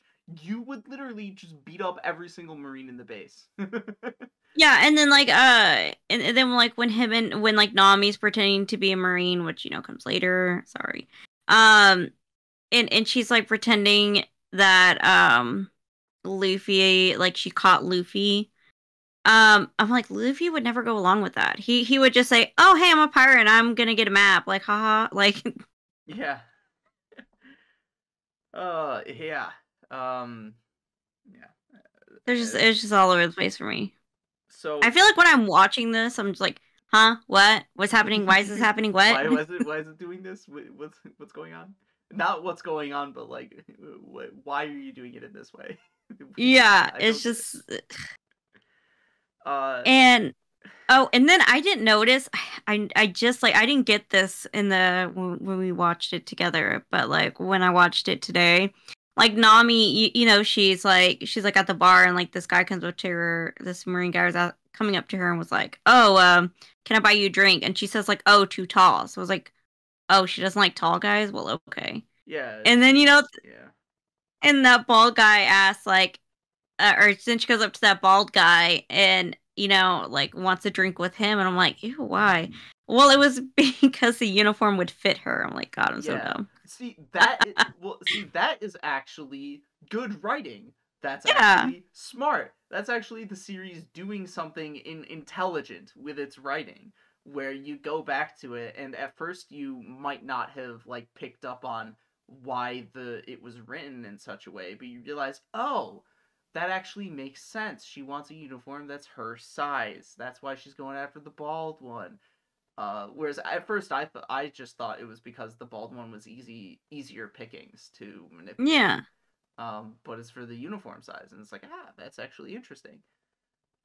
yeah so so I, I thought that was great and i i did like i did like um how everybody was at the bar. I guess they wanted everybody at the bar so like they could see so Luffy could see Zoro and then like make they make that kind of first connection. Of course like one way connection basically. Yeah. Um Luffy looks at him and is like, "Wow, he's a good fighter." yeah. But that's not what attracts That's Luffy to Zoro in the first place. Attract Luffy to Zoro. Uh, Yeah. it- I I mean, to some credit, in the original series, it's what makes Luffy has have a passing interest in Zoro, uh, before he even sees Zoro say or do anything at all. Uh, where he's like, oh, he's he's this cool uh bounty, strong bounty hunter guy who uses three swords. Uh, I'll check him out. That seems interesting. Um, whereas here, his first interaction with Zoro is, wow, he's a good fighter, uh, because he sees him fight. Yeah. Um, and um and and then again like I just I just didn't like the scene where like the little girl just yeah. she makes the rice balls for him and just because she likes him like so this this is like the perhaps the biggest failure like this is the main central failure that uh causes everything between luffy and zoro throughout the rest of this uh mini Just crumbles. arc to not be impactful or, or make any sense uh and, and it all comes down to the little girl who feeds zoro rice balls in the original series um in that series what happens is that uh helmeppo she does spill some food on helmeppo uh Mhm. and in response helmeppo is like fuck you little girl. I'm gonna set the attack dogs on you. And then zoro zoro then sees that as an unrelated person and is like fuck off dude. Um and it then turns into this debacle uh where in where Zoro can like murder uh Helmeppo and, and his contingent if he wants, but in response, Captain Morgan and the Marines there are gonna wind up murdering the girl and potentially everybody else in the bar. So Zoro Yeah. the Zoro decides at that point in time, because he's a good person, uh, to make the compromise of being strung up in the yard for a month instead. Uh, and then from there, because the girl saw Zoro's kindness, she made rice balls for him and snuck into the marine base to give them to him.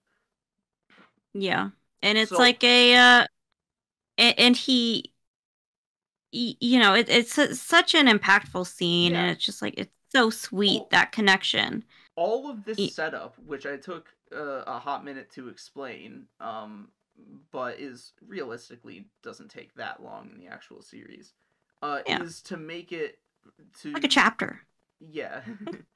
In the is to- manga. yeah. Is to first of all show that Zoro is a kind person.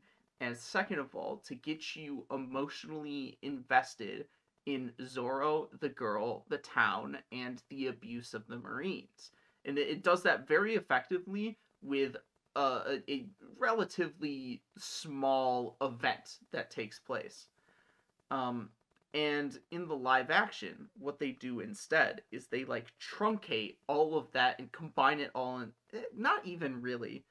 Um they they combine the eating of the rice ball with the spilling of the food is what they do. But Mhm. um they what they have happen is that the little girl approaches Zoro for no reason uh after cooking him rice balls that don't actually look like rice balls. Like if you're going to make rice balls for in your live action series they better look like fucking rice balls instead they look like burnt cookies. Yeah. Yeah like like Um, that's what yeah or or that's what I was little thinking. um, munchkin donuts like the donut center holes something like that. Oh yeah. Anyways, donut holes case, yeah. The girl is the first one to approach Zoro. Um and when Zoro initially I I think refuses uh to eat the rice balls, uh she then turns around and spills them on Helmeppo and Helmeppo freaks out. Uh and and he steps on them yeah yeah.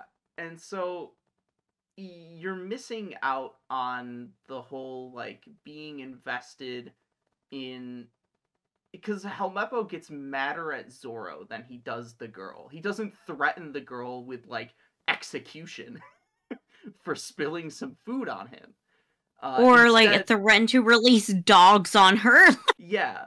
Instead, he threatens Zoro after Zoro disrespects him and like ma- and makes fun of Zoro having like three swords or whatever. Um, and so you're missing out on the strong emotional connection that the audience gains with the girl and Zoro in the process of the events that happened previously. Because there's a lot less, there's a lot less at stake. The actions themselves come across as a lot less um, kind and eventful. Um, it's a lot less dramatic. Mhm. It's it's just dumber. It's dumber. It's watered down. It's not even. Yeah, it's super. It's it's super watered down. Yeah.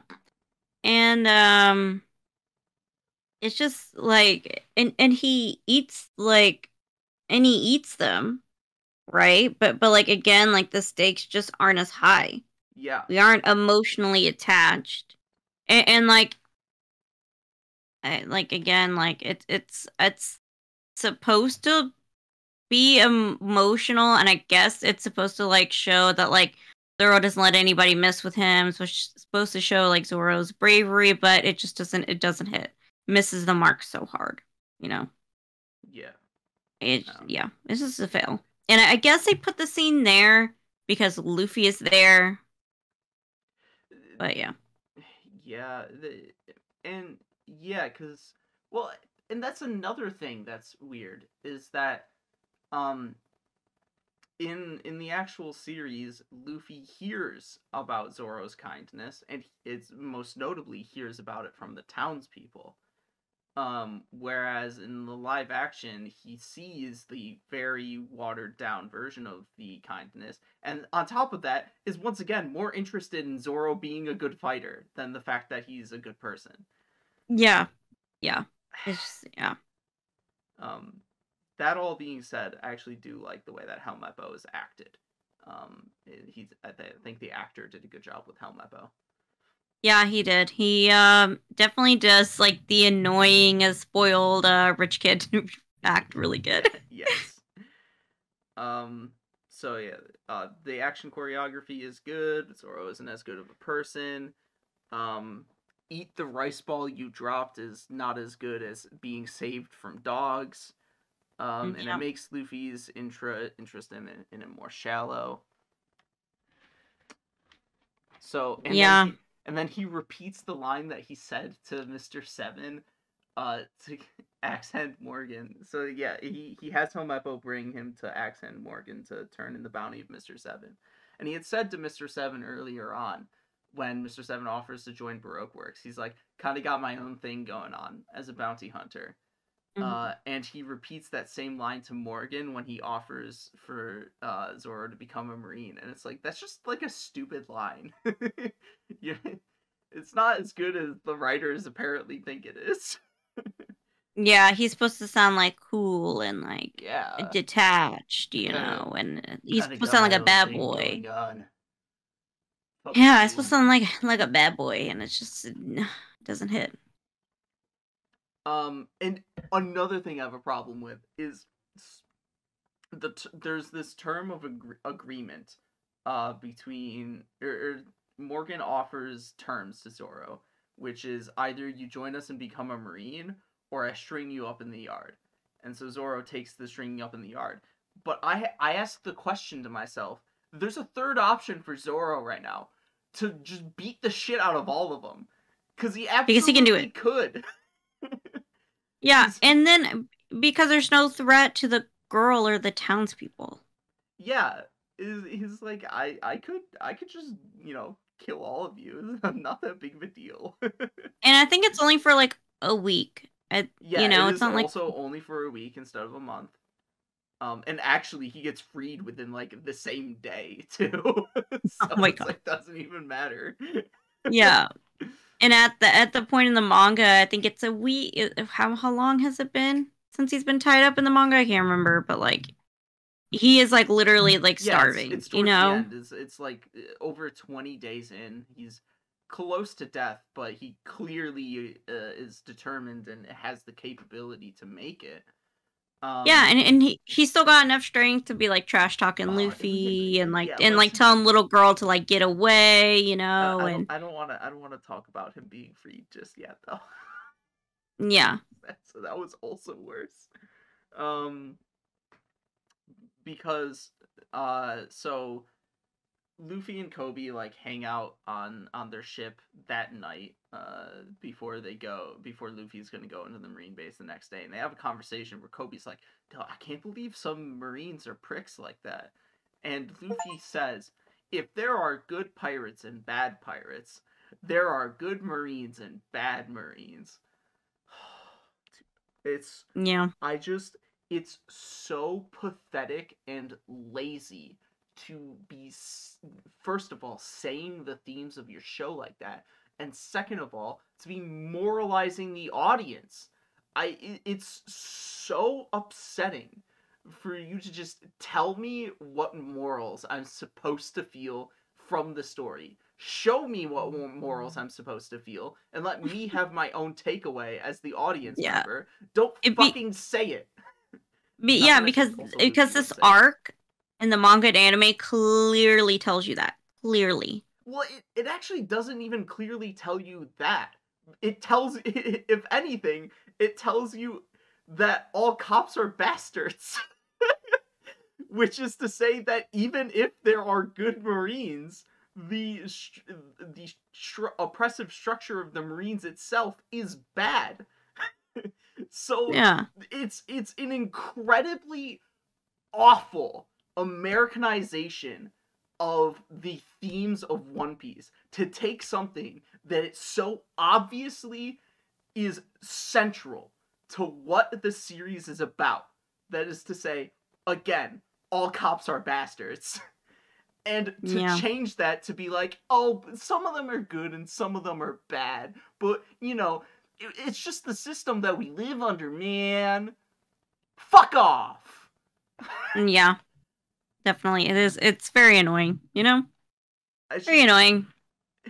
it's like more than the actual um mechanics of the adaptation being bad between the writing and the cinematography the camera work uh the acting slash more importantly directing and all that what, makes me the most upset is when you completely and utterly not just misunderstand but disrespect the series that you are adapting. Fuck. Mm, Yeah. Yeah, it's um and and it, it just like it, it feels that like with every episode they're missing the point of always missing the point of what the arc is trying to tell you. And I'm like, did you read the manga? Did you watch the anime? I'm confused. apparently the showrunner did he made a fucking tier list I, I don't I don't believe it, but okay. Kind of I have my doubts. it. Uh, yeah, it's like I don't believe him. He just kind of like put the arcs in the different places as he felt like it. Even though when he was doing it, it was on a live stream and he was explaining that he actually did in fact consume the series. He just he's just stupid and bad. He just doesn't know. He just doesn't. He, he just he's a child. You know what? The showrunner is actually a child. I don't believe he's an adult. He has zero media, media literacy. He doesn't understand the series that he made at all. No, apparently apparently not. Apparently not. And uh That And- and was it just- so it- entirely studio controlled, and, and he ju- and he was unable to to do anything about it. It was one or the other, but I believe I would be more willing to believe it was the former than the latter. Yeah, and I can understand like if if that did happen, but like you would hear about it. If that did happen, yeah, you would he hear about it through the denounce His own grapevine. series after it came out to be like, I there I have issues with some of the things that happened in the series. Or maybe Oda would have said some shit about it as well, but instead Oda is constantly so maybe Oda might not even understand his own series that he's writing. Oda didn't get it. I'm sorry. Oda, Oda doesn't understand his own series. Um, Oda was but- like, I'm just getting money from this. I don't care. yeah. I, well, honestly, I think that I think that is actually what it is. I think Oda is just like uh this it, this kind of looks cool at times and i'm getting a paycheck from it um and i don't actually give a shit about a live action adaptation of my baby my my series. Because i Like- it is if anybody cares about the series as much as i do they will read what i wrote. And they do not Yeah. need a bastardized live action american version of it. Uh they should read my work. Um so And I anything, you did- know, benefits of I did hear that the uh that the creator of uh what's it called? Cowboy Bebop hated the live action. Yes, and he like hated the he Cowboy said Bebop live action, and much of the reason why the Cowboy Cowboy Bebop Cowboy Bebop live action, from what I understand, because I haven't actually watched it, um, are actually a lot of the same reasons why this one is bad. Uh, where it I heard they changed a lot. Yeah, Like and they just well, they over their a lot heads. here too, where it just misunderstands the original series and has really amateurish and shitty, uh, technical, um, aspects to it. Yeah, and and then like they I I heard they added like a bunch of stuff in that like wasn't needed and like they were trying to be like woke and it just like didn't like hit right like I think they it's just I mean. I you know I actually don't know in the case of Cowboy Bebop. I never watched the full series, but you don't need it's my favorite in it's like in the a, top in a good series and in a good adaptation of a series. You shouldn't need to try and be woke or modernize it. Um, at least in regards to something like One Piece. One Piece is really fucking woke. you don't. and so is to Cowboy Bebop. Make it more woke. They have a trans character in Cowboy Bebop and it was made in like what the 90s They have like an island of trans people in One Piece. so like I don't get it and and then they have they have two they have uh two gay people like uh, you know in bed together in uh Cowboy Bebop that Damn. that uh that somebody walks in on and they're just like oh okay like did you see the guy that ran in here that ran through here because they're trying to c- catch somebody know, and it's just they- like uh, maybe they it's- should have never fine. Cowboy Bebop. We were having kind of like a gay panic at the time, if I remember correctly. yeah so it was just like i just it just it wasn't needed apparently either. like apparently they tried to make a character gay and like go off on that story and it just like, wasn't needed but like whatever man.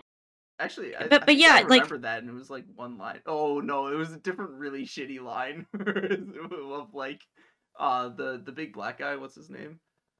Um, i don't remember i can't remember He's one of the main characters of Cowboy Bebop.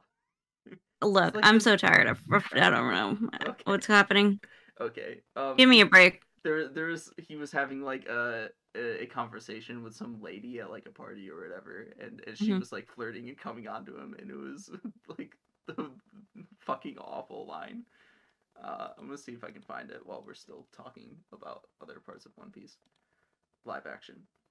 Yeah. Um, but um what else did i have written down about it? Um yeah and then you have luffy. Um on- once luffy finds out that like helmeppo is not going to free him not gonna free zoro like man luffy like sucker punches him. no oh are you oh you're saying in the in the actual anime never mind yeah in the anime so like I was uh gonna say that the, the most that the live action alludes to uh Zoro not being that is not going to be freed is Helmeppo makes a vague threat that Captain Morgan will never set you free, and there's like no indication that that that would actually be the case.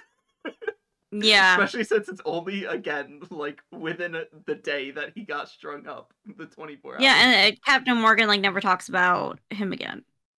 Never talks about the Logan. yeah. Me.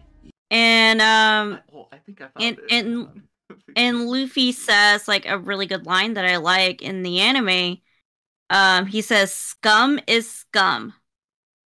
And it shows uh Luffy's strong morals, how he wants to protect others and how he shows what he values. And like the live action just doesn't doesn't do that. So like Yeah. I hate it. Alright, You, you see my uh, YouTube screen right now? Yep me, you, Badlakiani.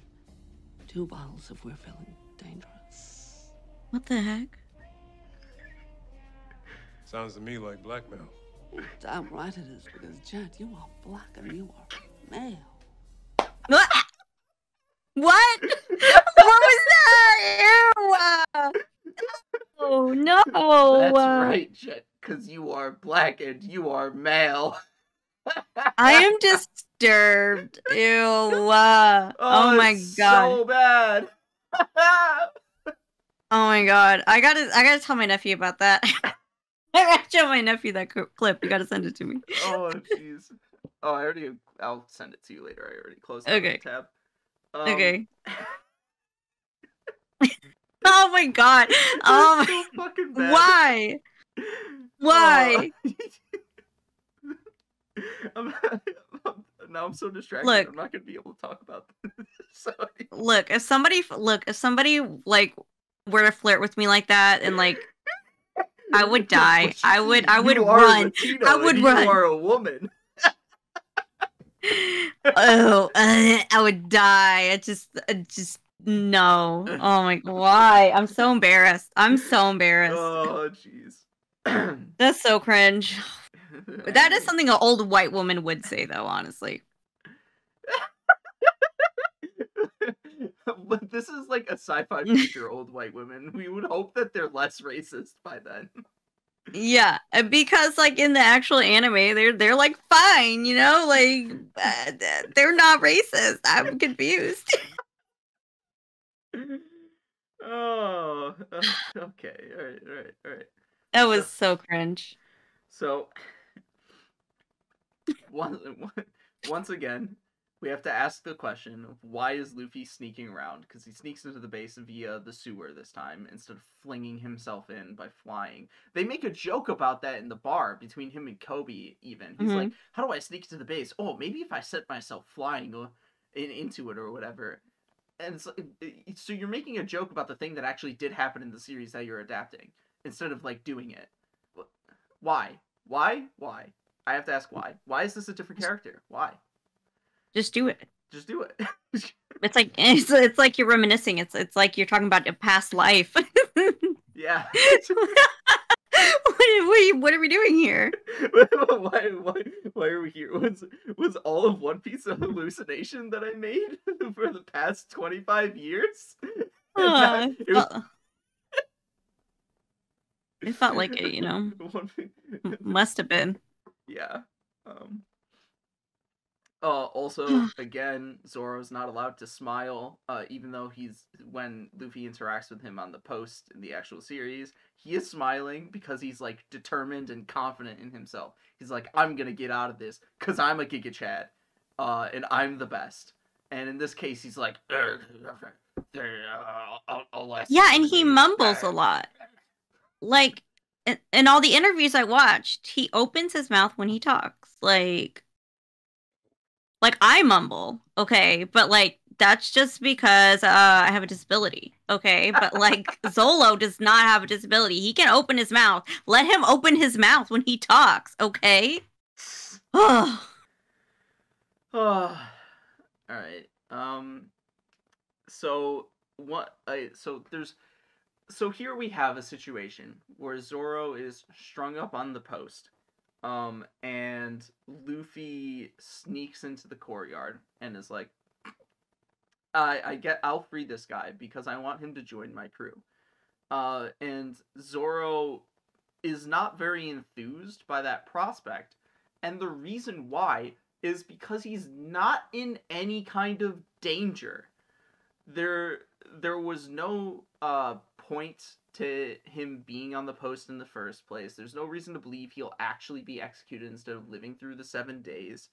Um there's no danger to the townspeople. So uh, like Luffy is not saving Zoro here and Mhm. he is not at the same time also demonstrating to Zoro what makes him charismatic and a person worth following. Um, and and as a consequence of that as well, because him saving Zoro doesn't um uh isn't the opening a- to a major fight scene. Uh, you also don't get the the line where he says something to the effect of, "I nothing less than the world's greatest swordsman belongs on my crew." Um, Yeah. so you get no there's no sense of allegiance that Zoro would ever demonstrate towards Luffy. And you get that you get eh, and so the they have to acknowledge this later on when they're actually doing the courtyard brawl because uh, Zoro gets his swords and he like goes to leave and he sees the open door and he's like I can just leave um I don't need to be here I don't need to fight anybody uh yeah. and you could say that he stays because he's a good person um but, But we don't time, really- yeah you don't really see that and you still have to ask the question of uh why doesn't he just leave The- Yeah, if, if he has no allegiance to Luffy. And, oh, and, and then like Luffy, like in the anime, he he like gets Helmeppo and he's dragging Helmeppo around, trying to ask him where the where Zoro's swords are. Yeah There's another plus for yeah Zoro. that's the other plus of it is he gets Zoro's swords back for him Yeah, to help to like give him even more of a reason to join his crew. crew. Instead, Zoro has to get his swords himself in here. so it's like again, I don't understand what's happening. Um, one thing I did like that I did find funny and interesting was um Helmeppo's nude sword fantasy. I thought that was a funny scene. Yeah, that was funny. and it was comical that Zoro gave him his shitty haircut. But I mean, it probably would have been better if he was if he just had the shitty haircut to begin with, because that helps indicate the fact that he's you know Obnoxious and stupid. dumb. Yeah, obnoxious more and than anything, dumb. just kind of stupid. um, Yeah, but it does make for a funny joke that he gave him the shitty haircut. yeah, definitely. And um, I did, I did like the fight scene between like um, Axehand Morgan and Zoro and Luffy. I thought that was fun to watch. I didn't, and the reason why is because either one of them could have easily beat up Axehand Morgan on their own. yeah, they extended it, you know. should have been able to at least. Um, I thought it was- and it's like okay, the choreography is is solid and neat. Once again, this is like the only thing that the uh studios behind these live action adaptations of specifically Cowboy Bebop and uh One Piece. Uh, it's like the only thing that they're good at is action choreography. They should just be a a action choreography studio. Uh, Leave the writing to somebody else. uh, well, I don't know. I don't actually know like what they had their hands in. Um, but I think they also did costume and set design, which actually also was pretty good in in One Piece.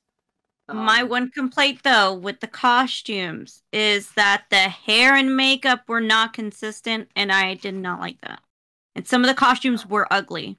I didn't totally notice. Yeah, some of them were didn't really work quite well, and I think some of that has to do with uh, again how One Piece is originally as a series. Um, No, they could have done better. I don't care, they could have done th- I mean, they I, they could have been done better. I won't say that they couldn't have been done better. Um, Yeah, because some of them, like, were completely original, you know, and it, it's just like, and, and then the hair, like, I understand you're dyeing Zoro's hair green. I understand Nami's hair is like bright orange. But again, why in the same day is her hair vibrant one day and then like like faded orange, you know, in the next scene? Didn't have time to dye it the next morning. Apparently. Uh, And then um and I'm trying she trying to think dye it at least four times a day. at least apparently. In Zoro's hair too. I'm like just just get him a wig. Like like why why don't they, have probably wigs? they probably should have just used wigs instead of hair dye. Honestly. And then um and, and then yeah, when the Nami's hair too, like in one scene her hair is like uh, like perfectly like straightened. It's like perfectly done.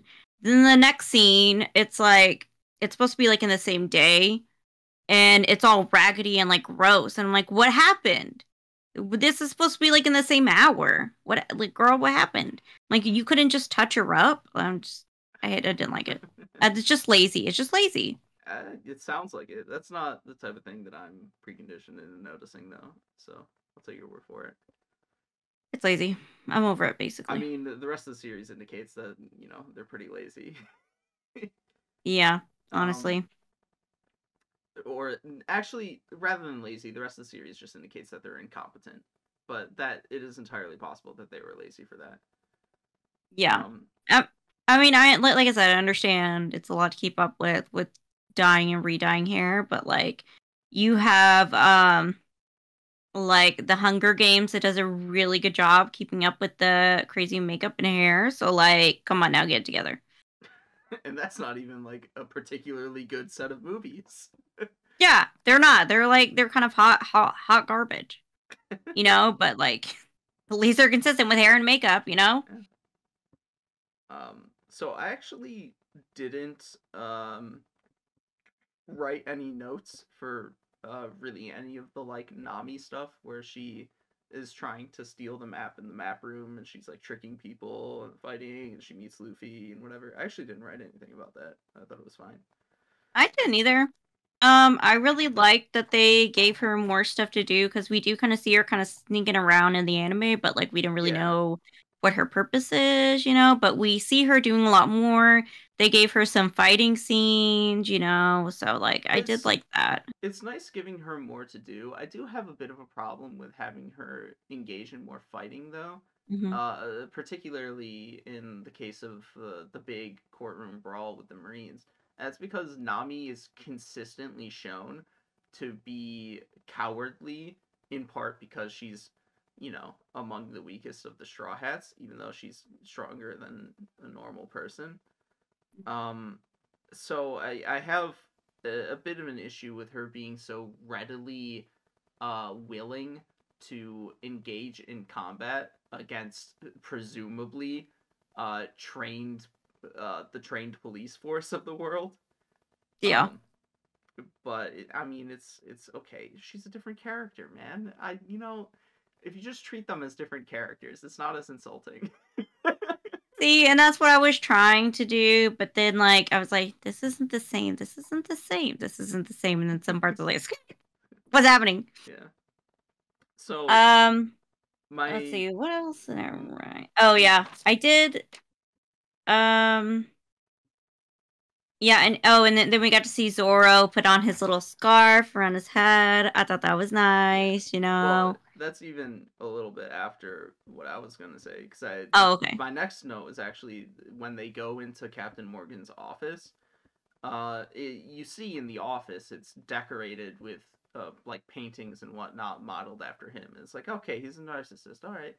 Uh, but it's once again not as strong of a point as when the original series does it when he's erecting a massive statue of himself on top of That literally li- looks like uh the Jesus statue in Brazil. That Yeah, looks like Jesus.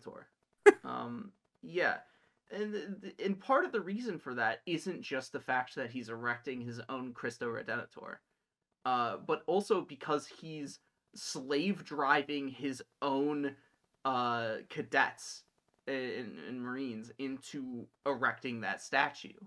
And he takes So- one out. Yeah. And so you see not just that he's a massive narcissist, but also that he's a dictator.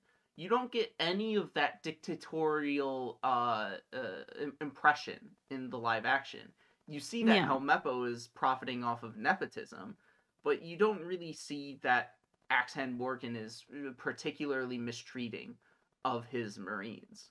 hmm Um, Yeah. So you're missing the What it seems like it almost seems like he's in I mean he's kind of I guess he would kind of be kind of incompetent in the anime, but he's like really incompetent in the live action. Like, what are you doing, bud?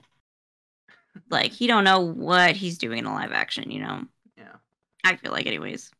Um, and then also uh they they do the thing where they're like opening the safe or whatever. And i didn't write down what he said that was stupid but i noted down why did he know that he said something stupid? That that what he said was a joke. Luffy's supposed to be stupid. And if he knows if this is a different character who knows when he's saying something stupid. Why did he also deliberately say the stupid thing that Mhm. obviously pissed Nami off? Uh, I just when you when you first tackle the question of why did he why did he know he said something stupid um and with the answer of it's a different character you then have to answer tackle the question of why did he say something stupid deliberately? It, these are Yeah. unnecessary questions to ask. Just it's just have the same character. Stop. Yeah, just had the same. Yeah, and um, man, whenever, uh, whenever Nami's like getting the map, I feel like it's uh, it's kind of weird to have Luffy kind of be there helping whenever like Nami has the skills to open this. You know, like in the anime, she has the skills to open the safe by herself with the map out. Like you Well, know, they they made the lock trickier in this one. Apparently, it Mhm. took her a lot longer. She even had to work on it on on the ship for a Mhm. long period of time after they escape. yeah. And I just uh, At which point in time, and then, like- basically hugs her and like rests his head on hers. It's like, what is this like? Uh, scripting. Why did you? Why did you script him to do that? That's like way too intimate. yeah, Luffy's not a hugger, bro. Uh, has he hugged anybody? I don't. um, I don't particularly remember actually. Luffy's kind of uh Luffy kind of he's a little neurodivergent. Like uh, he kind of comes off as a person that doesn't like hugs. that, Luffy mean, is basically like me. He doesn't like hugs, but he's definitely neurodivergent. No, no, look, some neurodivergent people don't like hugs. I'm one of those people. I don't like hugs. Okay, I, I just saying. But yeah, he doesn't. Um. Oh, and then like um, Nami is able to give him like enough leverage to like open the safe or like get the safe out. Like she she you know he's trying to pull on the safe to get it up, and she like gives him a hand. Like she wraps her arms around him and lifts him too. I'm No, like, no, the she- reason the reason she does that is because she knows that the kickback of uh pulling it Mhm. up, prying it out of the ground is gonna send her send them flying. Um, Oh, okay. So she's using him as like a cushion. uh, not necessarily a cushion, but as an escape route. Um, I see. 'Cause I thought she was like pulling on him, basically. N- no. I mean, it, it, I mean, I guess that technically could be a part of it, but no, it, it the indication uh, is much more so that she's hanging on to him for like effectively dear life, knowing Mm. that he's going to end up launching himself backwards. I see. I see. Okay. Okay. Um, I so th- that all happens. Now the fighting in the courtyard that we've already talked much about happens, and I did actually know. I also, as much as the choreography is generally really good, I really am not a fan of Luffy's fighting style. Um, it, because it it looks a lot more Strategic. um, no.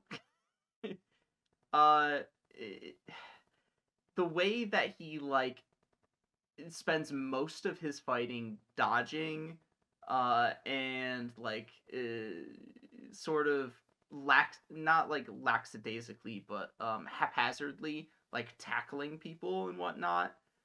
Mm. Um, it looks very silly, but not in like a good One Piece silly kind of way. Um, it, it just looks kind of dumb. Uh, in particular, though, one thing I actually had an issue with, uh, that's like an actual issue, I should say, uh, is one of the times in which he punches somebody, he then like looks at his own arm and like its muscle is like, "Wow, I'm like impressed with my own strength here." It's like you shouldn't be. You should know your own strength. like, why are you so impressed you managed to punch a guy? I think I think they're doing that to try to make him like goofy, like like Luffy is in the anime, but like it just like again, it's just weird, you know? Yeah. I, I think And so he also think they winds up probably- taking out like a whole lot less opponents than even Nami because he spends most of his time dodging rather than actually fighting people. yeah. And it, feels like he kind of uses his powers a lot less like on people. Yes, he definitely uses them a lot less. But uh, to be fair, he doesn't actually use them all that often uh, on people who aren't like close to him in strength. Mm, yeah, that's Um, true. When usually when pe- people are like far below his skill, he like uh for example, uh, Bellamy in Jaya. He he doesn't even bother using his powers against that guy because he understands this guy is nothing to me. Um, and similarly uh, against even like crowds of scrublets, uh, he doesn't usually. The most he uses his power is like crowd control rather than actual, um, uh, it being like a component of his casual fighting. Mm, yeah. Yeah, I guess that's true. That makes sense. Yeah. Um. th- So that's me being charitable to the live action that almost certainly did it be- to lessen the amount of visual effects that they had to do. Mm. Yeah. Um. But uh, I I don't particularly like what they did with his brawling fighting style, uh, Yeah. without the rubber. Mm-hmm.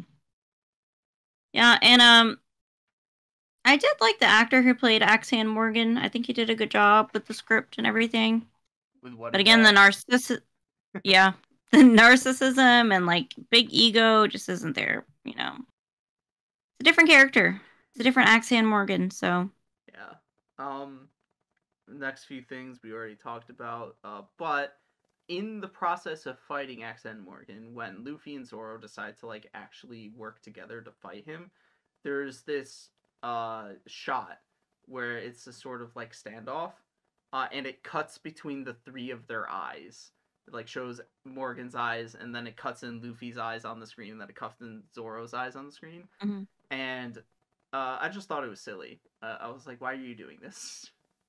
yeah, it's supposed to be like, all right, here we go. Let's go. Yeah, Here's the duel. it's something like that is technically far more of a stylistic choice than um, any sort of like substantive choice that any particular um, work of art could do. But I don't know. It doesn't seem. It felt out of place. Yeah, out of place. Doesn't seem particularly fitting.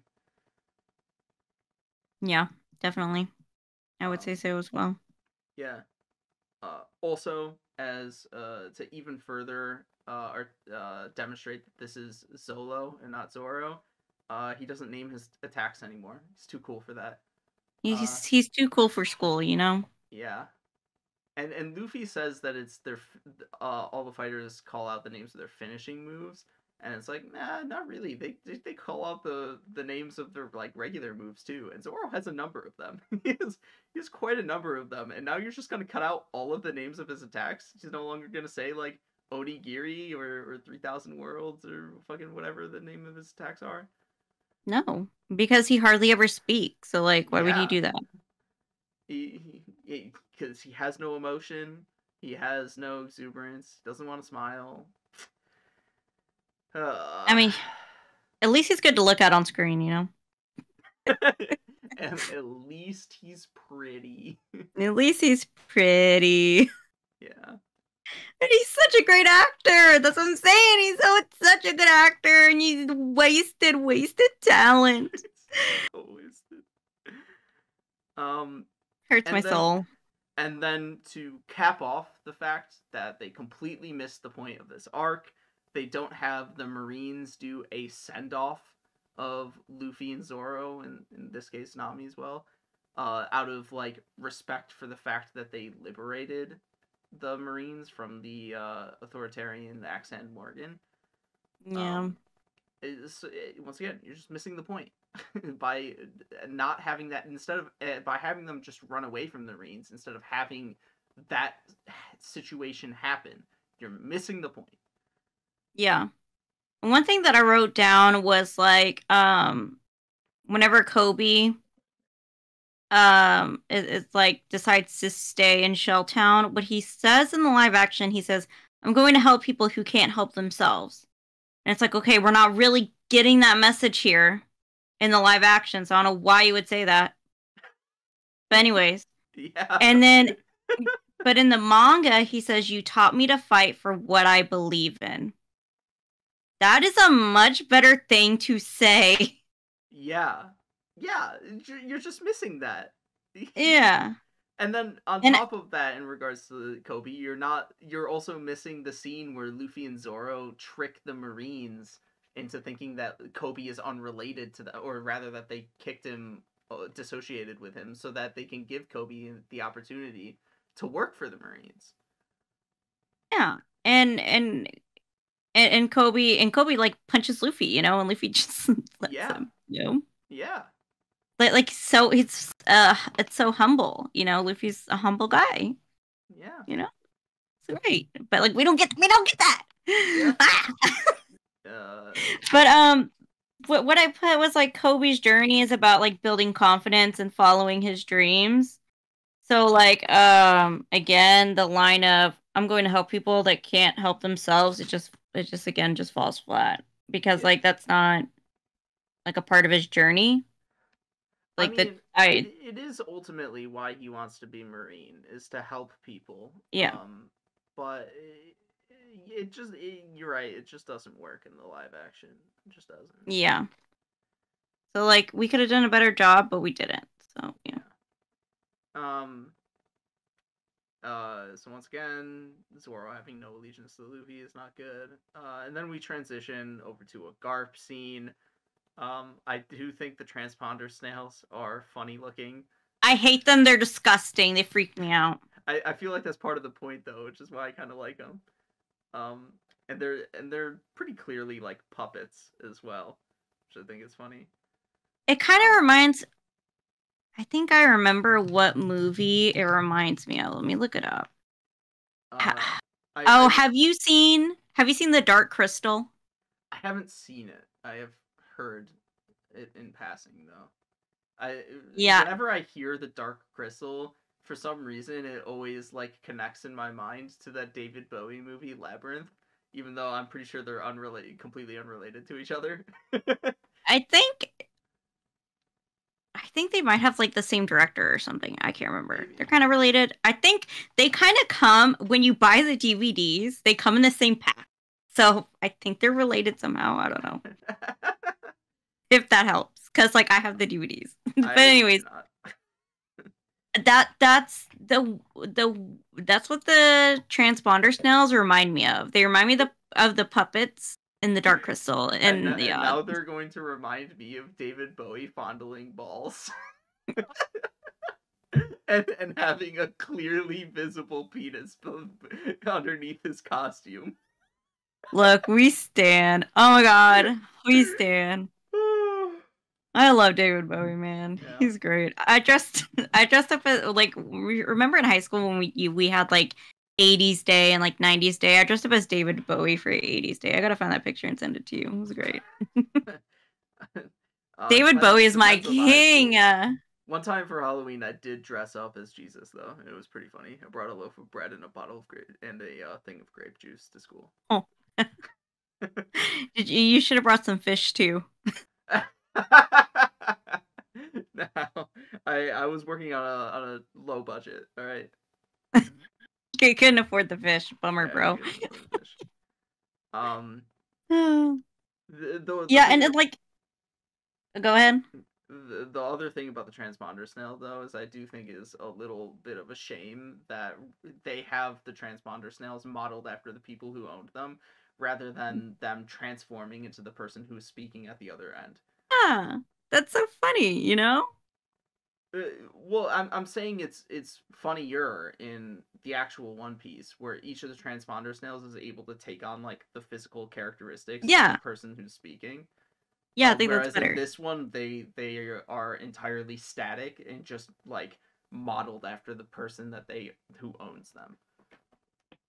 Yeah, and um, yeah, and then Nami has that itty bitty transponder snail. I thought that was that was kind of cute. Yeah, I mean, yeah, sure. Um, Oh my there, god. there are, there are smaller transponder snails and, and like whatnot. Um, I, I It, it's I it's cuter than the big ones. well, yeah, because big you don't get to see it up close. The big ones scare me. Do I don't like them. slug is cute because most slugs are pretty small. Um, I like slugs. Like, after-. I, yeah, I like slugs and snails, but like the transponder snails freak me out. Like, like um, I like you know I I don't step on slugs and snails. Like after it rains, I make sure to like put them outside. So I'm one of those people. So yeah. Yeah. Um, and also, of course, the one question to constantly, continuously be asking yourself throughout the entirety of the live action is why is Garp Why? here? Why is he here? I, don't, like. I don't I understand why he's here. I don't have I don't have any notes on Garp because I don't like Garp and he's not Yeah. worth talking about. He's, I you mean, know? even if you dislike him in in the original series, he's I like him in the original series. He's I- I- funny. yeah, all right, good. We don't disagree on that front because he's so. Again, the live action is neutering the characters by making them more like serious and dramatic. Uh, in Garp is so lively in the actual series. Yeah. Why is he so serious and dramatic? I don't understand. You know, it, it's that Scottish in him makes him real serious. I guess Uh, must and, be. s- and so while he's in the East Blue for seemingly no, seemingly no reason, um, Oh, aren't they going after Baroque Works for some reason? they aren't going after Baroque Works, but w- when they get the report about the raid on the base in Shellstown, uh, he the his um assistant does ask if it's a lead on Baroque Works. And I Oh. remember while we were watching it asking the question, wait, why? Uh, because he follow Garp follows up by saying that that's like a cold lead that they've had for a long time. In addition to them not being in active pursuit of Baroque works at the moment, and having no like reason to uh, suspect that any random call in on their ship is going to be about Baroque works. It could be about like Mhm. fucking anything.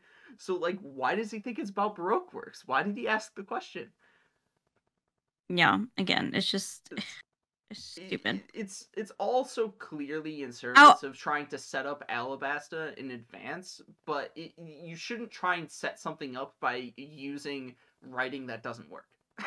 And oh, and, then because like oh, we ha- remember Mister Seven. Remember that scrub? Yeah, it's fine. It's fine to include something like Mister Seven that early on. Uh, Yeah. No, but you're supposed to make works. the connection. You know. Well, uh, sh- I, I, you're supposed to make that a, that connection when you actually get to Laboon.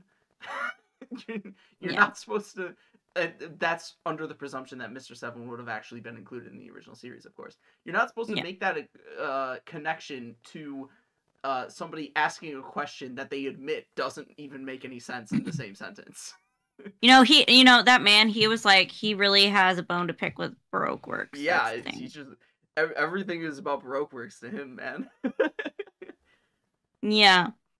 And um what what what I put after like after I was thinking about the end of this episode, I put the like everyone puts this like when I thinking about the manga, I put the like everybody puts aside the rules that they're supposed to follow and like what kind of the rules society wants them to follow. Um and those surface level ideals to like follow their true dreams and to show how they truly feel about things and um the live action just doesn't send that message yeah. to the audience yeah, it's a it's a total messaging failure, uh, in every arc. yeah um, so that was depressing my my last note on the first episode is there's a brief introduction of uh, Buggy to the transition into the next episode, um, and I I asked the question why is Buggy's intro so much like Joker, especially since in a, in the next episode he's actually not all that Joker like. Um, he he actually has uh, a, a fairly unique personality in that respect. Um, and uh is is is his own he's his own person and his own character in that episode. But in this intro, he does like the maniacal crazy laugh uh at, at to to send off the episode. And it's like why why are you just coming across as, as Joker instead of like being your own character in this moment, especially when you're not going to be like Joker in the next episode? Yeah, because it's like, ooh, scary. Who is this Ooh, villain? Scary clown Hmm? guy. Ooh, scary clown pirate. I'm like, buggy. That's not my buggy. yeah. okay. I Um, have hardly any notes on episode two. I I still have a lot to say about episode two. I have, if anything, more to say about episode two. Seriously, I just like let, um. me, let me let me let me just show it to you. It's in it's in red pen, so you can even see the difference uh, between that and and um the other one. So here we have. This is the start of my notes. And Oh my gosh. Oh my and, gosh. And this is all still episode one. and Oh, no. Here's here's where episode one ends and episode two begins. and Oh no. It keeps going. and it keeps going. And there's episode three. Oh my gosh. Um, so if we're done with episode one, it's been over two hours. Uh, if you if you want, we can call it here, and then maybe we, because we've covered a lot of like initial ground on on our thoughts on on the series, maybe we can get through the other episodes more quickly next time. Yeah, I think so. I think I'm good with that because I'm like, I'm so exhausted talking about it. Oh my god. Uh, I'm like, so. I'm like, man, I'm so exhausted talking about something so negative. uh, meanwhile, for me, make being mad and making fun of things gives me superpowers. It gives me more energy, if anything. Like uh, when we were actually watching this the show together, if anything, I was getting more awake the more frustrated I got with this series. You know, usually I thrive off of negativity, but I don't know, something about this live action just like Just- put me in a bad mood. it, just, it gives me so much adrenaline to talk so much shit. Look, I, I love talking smack too. I mean, you hear me talking smack all the time, but like, dang, live Alright. action just just the worst. Yes. All right. and so with that, next time on the Pirate Odyssey, one of us might break out into tears as we continue complaining about the series. and and the bad tears, not the good tears, the bad no, tears. it's gonna be the bad tears. uh, so until then, fucking peace. Yeah, bros.